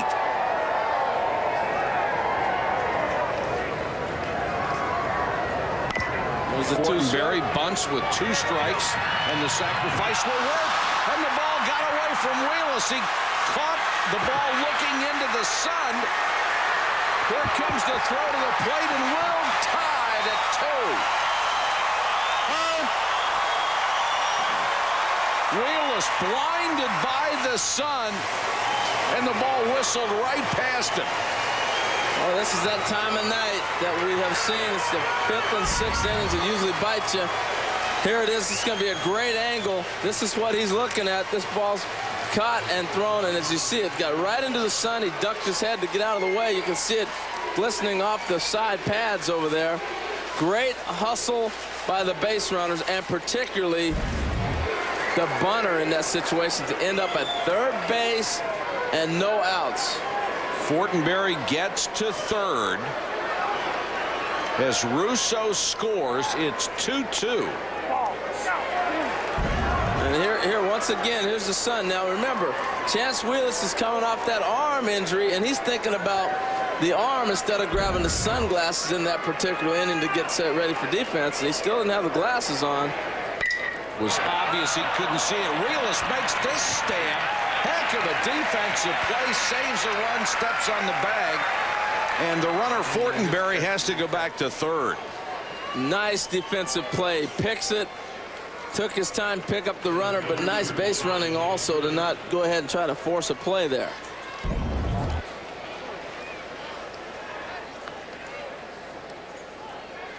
He's lucky that ball wasn't up a little bit. Nice pick. So that's what, Mike, about three games we've seen that sun come in effect over there at first base. The first error ruled against Texas in the College World Series, an error on the first baseman Chance Wheeless, who lost that one in the sun.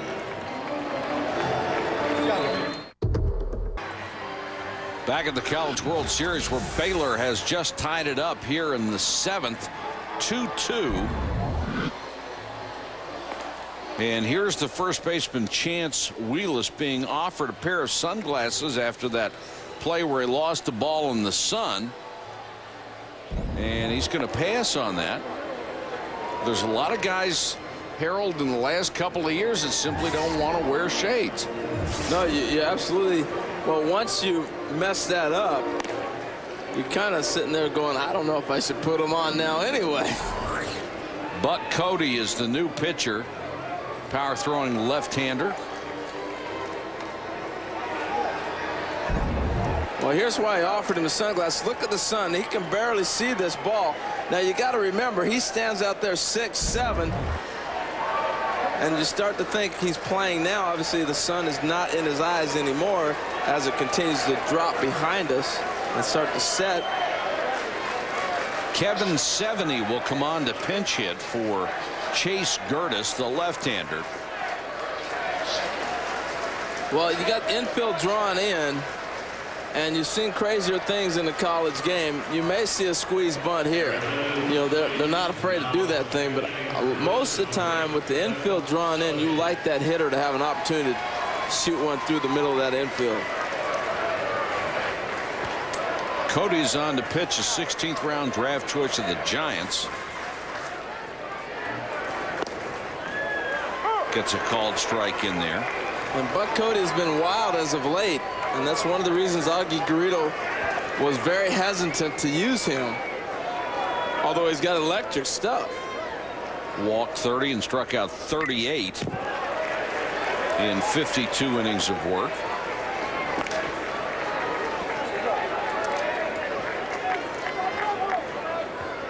He's ahead quickly of Sevigny 0 and 2. They could use a strikeout right here as Kasparek is out after throwing 109 pitches giving up one earned run. Remember there's a runner at third with only one out. That's the go ahead run. Well this is a situation you want a strikeout pitcher on the mound. You're looking to get a strikeout because more than likely contact is going to be a run. Breaking pitch through into left field for a base hit. Sevigny comes off the bench as a pinch hitter and delivers the go-ahead RBI. See, uh, and this is carryover from last night's game. When you've been in a situation like Baylor went through last night, you feel good about yourself. Here's a good breaking ball, nice piece of hitting. And once again, with the infield drawn in, you just got to make contact. And more than likely, you're going to find a hole right there. He did his job. Baylor goes up 3-2.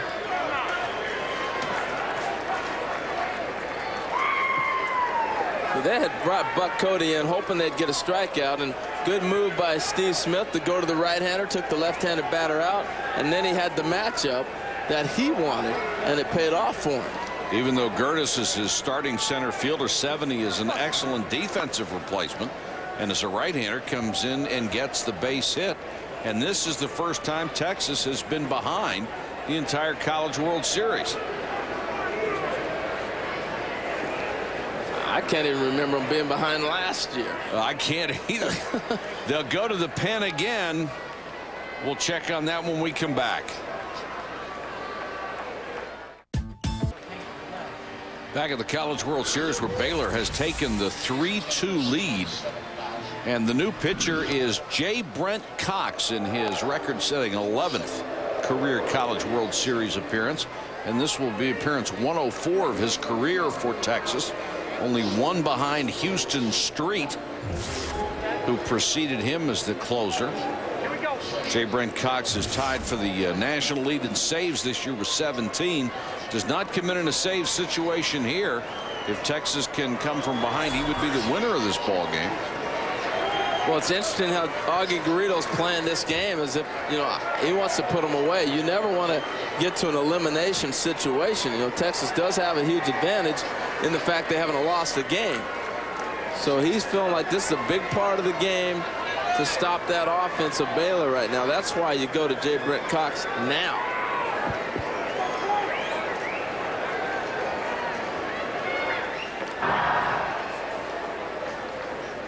Michael Griffin is the hitter. He's 0 for 2 with a walk. We're in the Baylor seventh.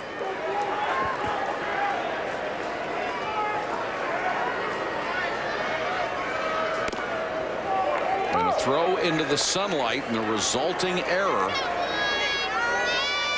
set up two runs for the Baylor Bears. After they had had a rally cut short in the previous inning by what was pretty obvious to most of us is a bad call on a third called third strike and the then resulting throw out of a runner at second base where it looked like for all the world they would have runners at first and second with nobody out.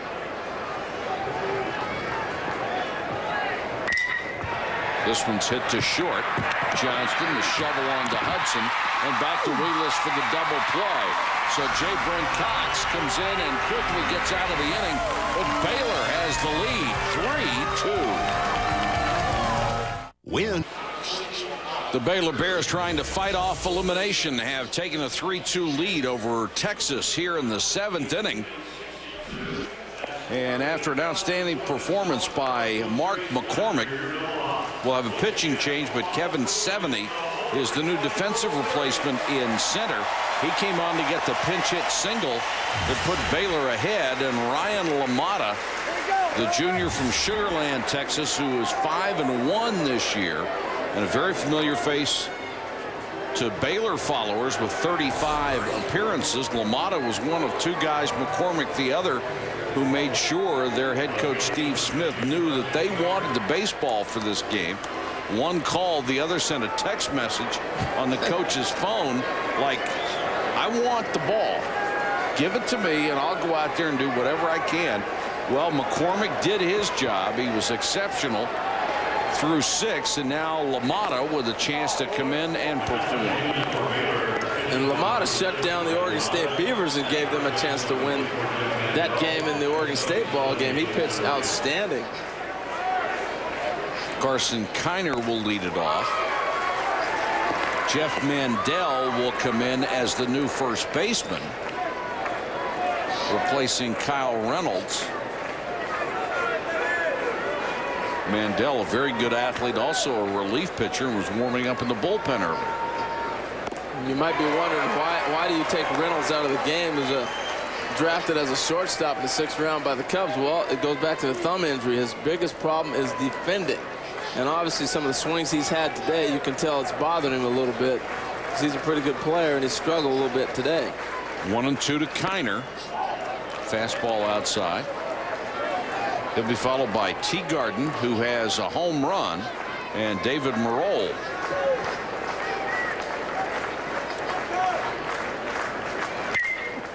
Fastball foul back.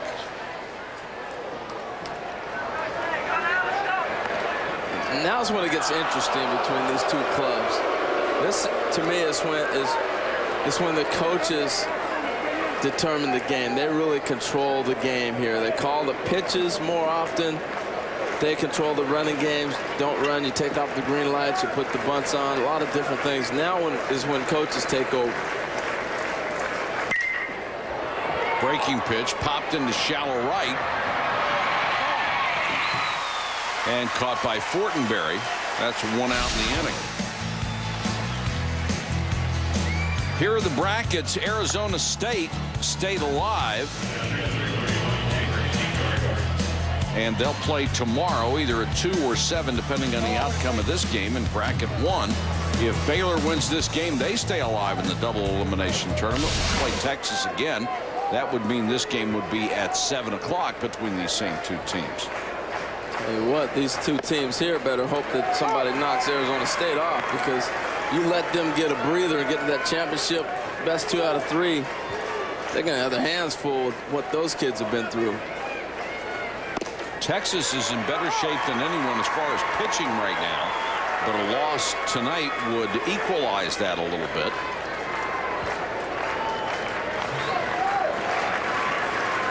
Teagarden, who homered in the fifth,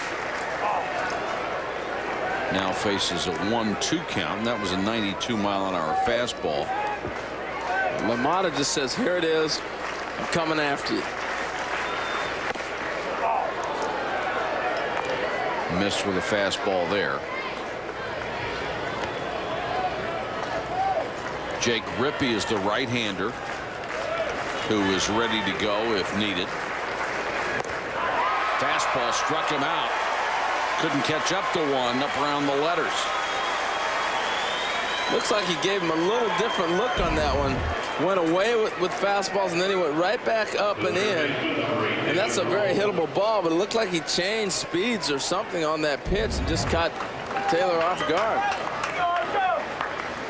Two out, nobody on for Maroul in the Texas seven, seventh inning. LaMotta appearance appearing in his 90th game in relief. That's second all time at Baylor. Breaking pitch hits a straightaway center. Sevigny backs a couple of steps and makes the catch. Three gone in a hurry here in the Texas seventh. It's 3-2 Baylor.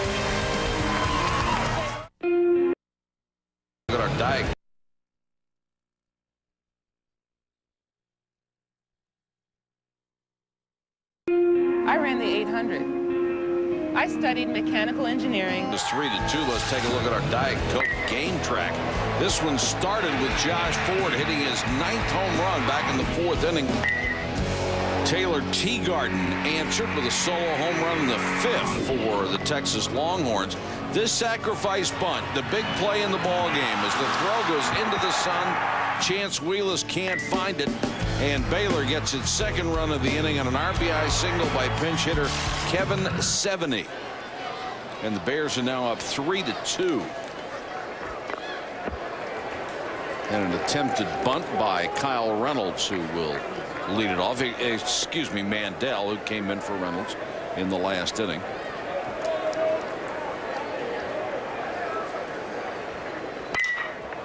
He hits it to straightaway center. Here comes Stubbs. And with that great speed, got there. he closed on that one quick. He's got a slow jump. And then he turned on the burners to go get it. What a luxury to know you're going to have a guy in center field that can go get the ball for you. Boy, he eats up a lot of ground. Yes, he does. Our attendance tonight, 27,452. The second largest crowd in College World Series history. Six of the attendance figures from this year's series rank among the top 15 all time. We've already grown over 200,000 in the College World Series this wow. year. Tremendous crowds. Great knowledgeable crowds as usual.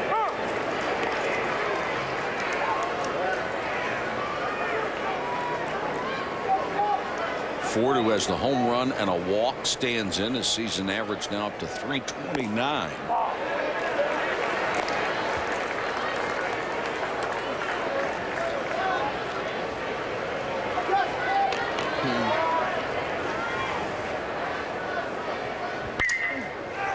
Fastball's popped up right at the plate. Teagarden throws away the mask and makes the catch in fair territory. That's two out.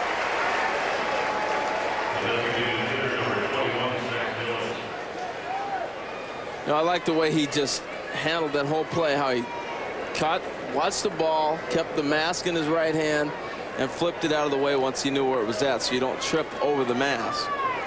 He's, the he's ultimate indignity for a catcher is to stumble over your own mask and Absolutely. miss a pop-up. You'd be surprised how many times that happens. Especially when it's windy. Yeah.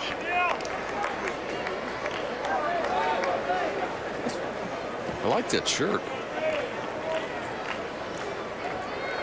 Zach Dillon stands in with two out and nobody on in the Baylor eighth. Bears would like to get some insurance, but they're up 3-2 on Texas. Remember, if Baylor wins tonight, they would play Texas again tomorrow night. And it would be the seventh time they have met this year, and it would be an elimination game for both. Tonight is an elimination game for Baylor. That one straight back on the screen. We have come so close yeah. to getting a souvenir tonight or getting one of the chops. I'm not sure which. I'm, I'm, I'm ready, Mike. Got my glove here, so I'm watching a game like this.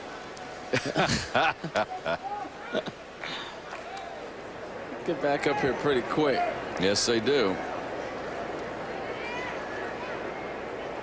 Oh. The 2-1 from Cox is a called strike. 2-2.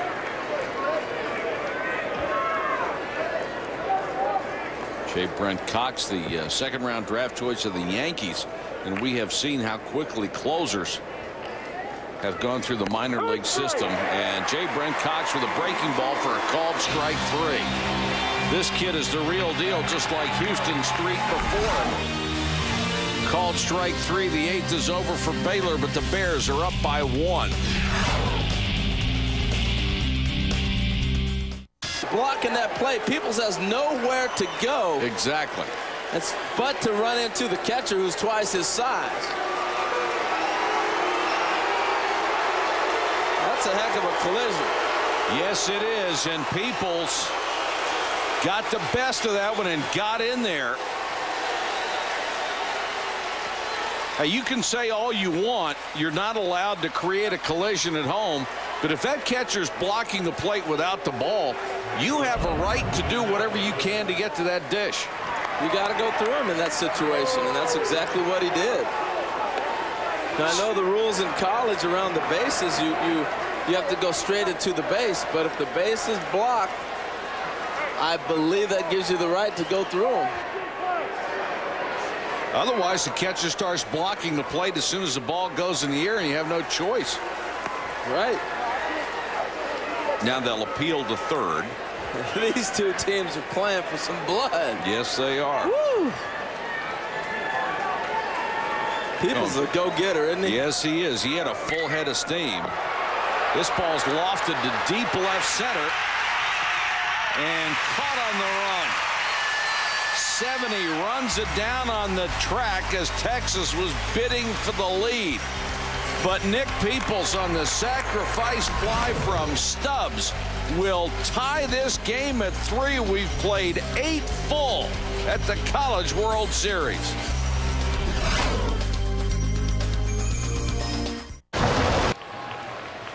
What a ball game. We go to the ninth of the College World Series. Baylor and Texas tied at three. Here's the tying run in the bottom of the eighth. Well, now we're going to get a good look at Peoples coming down the line.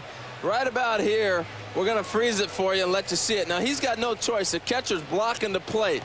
Now, he's got, a, he's got a guy telling him to go this way, but you have nowhere to go. Your only option is to go through the catcher. You can see clearly how Ford has got the whole plate covered. There's nowhere for him to go but through him. He's got a head of steam. He's got his head up, and he's he actually he's actually getting ready to go into his slide, and then he realizes I got nowhere to go. About that fourth or fifth step out from home plate when he's getting ready to slide, he starts to kick it, and then he goes ahead and goes into him. It's a great play. Yeah, you got to give him some credit because Ford is your prototypical catcher's body. He's a big fella. He is big. Now, the umpires will tell you you cannot create a collision to try to dislodge the ball. You will be called out. But if the catcher blocks the plate and gives you no access, you have no choice. You can either call yourself out and slide short of the plate, or you can try to go through the guy. The other thing, too, Mike, is he didn't have the baseball. Exactly. He was blocking the plate clearly without having the ball. And as the ball was getting to him, he moved even further into the runner. So Peoples had no choice. It's a great baseball play all the way around. I mean, if you're Ford, you got to do what he did. Yep. Everybody did exactly what they were supposed to do, including the brilliant throw from Fortenberry. Now, you could say, well, the runner can slide around the catcher, but you're asking too much. You're right. It's not You fair. are. No, it's not fair at all. You can only take what they give you. J. Brent Cox now trying to keep it at 3-3. You know, as he faces Reid Brees to start the Baylor ninth. You were talking about J. Brent Cox being a Yankee draft pick. I think that he reminds him a lot of Jeff Nelson. Now, he throws a little bit harder than he does, but that slider is very similar. And that motion that he comes with, a lot of Jeff Nelson. And, and if you follow the Yankees, obviously, he was a big part of that success when they went on that great run in those World Championship teams. Missed that last one with a fastball, and it's 3-2. Brees, Russo, and Fortenberry scheduled to hit here in the ninth. Breaking pitch, and he missed. Gutsy pitch there, Mike. Guy with a lot of confidence in his stuff didn't get that one over. And now Russo singled his last time up and scored. And those leadoff walks score nearly 50% of the time in the College World Series in this tournament as a whole. That's the situation we have right now. 50% of the time, almost, is what we're looking at here in the ninth. Going to try to bunt him over, fouled at the plate.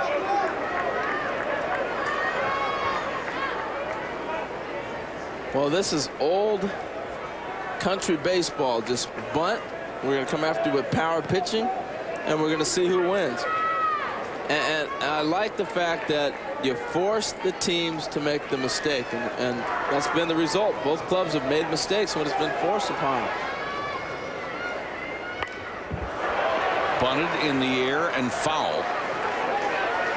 0 2. In this situation, he's trying to bunt that ball to first base because the first baseman is holding the base runner, and you got the third baseman crashing on you, and the pitcher's going to come off the mound hard. So you know that you got this guy's going to be right there. And the third base is probably going to play in this area, not with two strikes now, but with one strike, that's what they were doing to him, and that's why he was trying to push that ball to first. Rolls back behind the bag now. And again, a lot of times you'll see with two strikes, a pitcher throw to first base in this situation to see if the, the hitter is going to tip off if he's bunting or not. And he's bunting again. And he got it down toward first. Cox will make the underhand toss for the out, but the sacrifice works. Great job by Russo. Well, 0-2 bunt is a very difficult pitch to bunt because you, you, have no idea. The pitcher can waste a pitch on you. So a lot of times they'll throw a breaking ball or they'll throw a fastball at you. He happened to get a fastball that was a strike, and he got it down. Tremendous job. We saw Robbie Hudson do it, and now we see this guy do it. Uh, you know, these are two fundamentally sound teams that, in the bunting department. Now Fortenberry was a walk, a ground out, and a sacrifice, scored a run. The young man with a 190 batting average on the season. And that just shows you how well he's swinging the bat. That's right. Ignore the statistics. We're putting him on. He's three for nine here in Omaha. But almost every one of those at bats, he's had good swings. Yes, and that's, he has. That's really what you look at. If you're scouting a guy that you're playing against, what kind of at bats is he having? Throw the stats out and take a look at what he's doing up there. He's had some loud outs. They're, they're going to set up the double play ball, and you got a guy that can roll but double plays in Brent Cox, and we saw that with uh, Griffin earlier in the game. He got double play when he first came in the ball game. Paul Witt, the shortstop, who has a one for three night, is due up. Witt with only his third hit here in Omaha. And now the catcher Taylor Teagarden telling the infield what they need to do.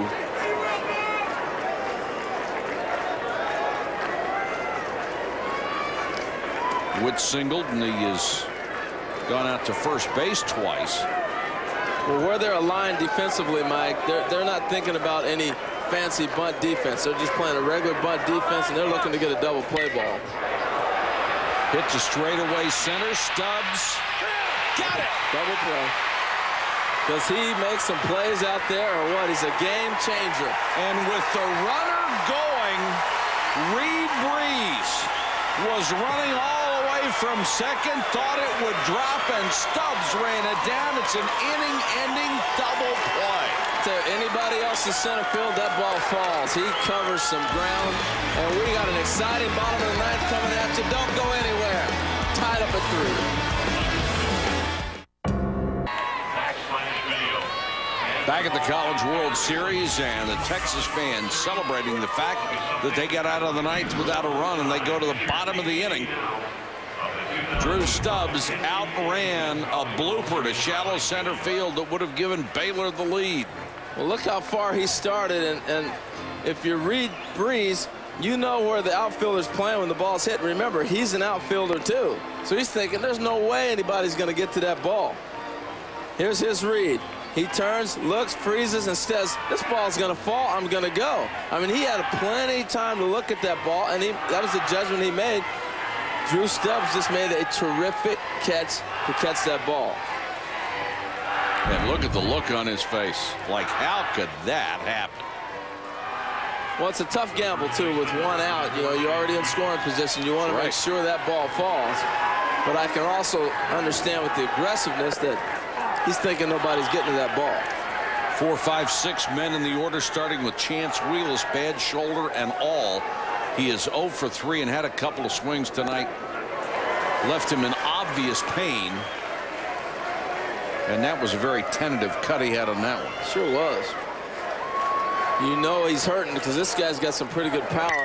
And he caught one. Goes after that one and hits a bomb deep down the right field line. It's good. Holy cow, Chance Wheeless with a bad shoulder hits a bomb into the right field stands to win it for Texas. Are you kidding?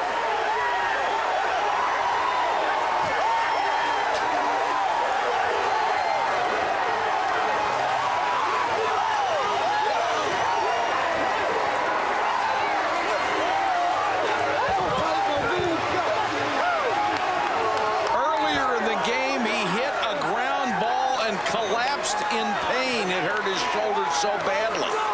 He also had a play at first base where he lost a throw in the sun that set up two Baylor runs to give them the lead. Talk about redemption. In the bottom of the ninth, a walk-off home run to win it and send them to the championship series. And Erin Andrews is with our star of the game. Erin. I certainly am, Chance. How's that shoulder feeling now? Great. I just I just needed one swing. I knew I could do it if I got one swing. I got it. Your trainers told me, I asked him after you walked away from your last at bat, and they said, I don't know how he's doing. We're going to see after this last hit. What were your thoughts as you were getting ready to go? uh, I wasn't thinking about my shoulder at all. Uh, I was just looking to put the bat on the ball. Maybe have some guys come up with some big hits behind me. Just trying to get a, get on base and uh, having to do that. So When did you know it was gone? right away.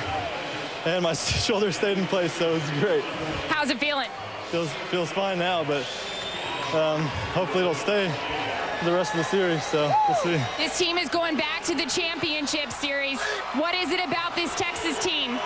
We just battle. We come out every time. We've been behind a lot this year. This is what it pays off for. This, this game right here. We battle. Congratulations. Thank you. Mike? Erin, we have just had so many remarkable moments at this College World Series. So many dramatic bottom of the ninth heroics. And this one belongs to Chance Wheeless, our Pontiac high performance moment.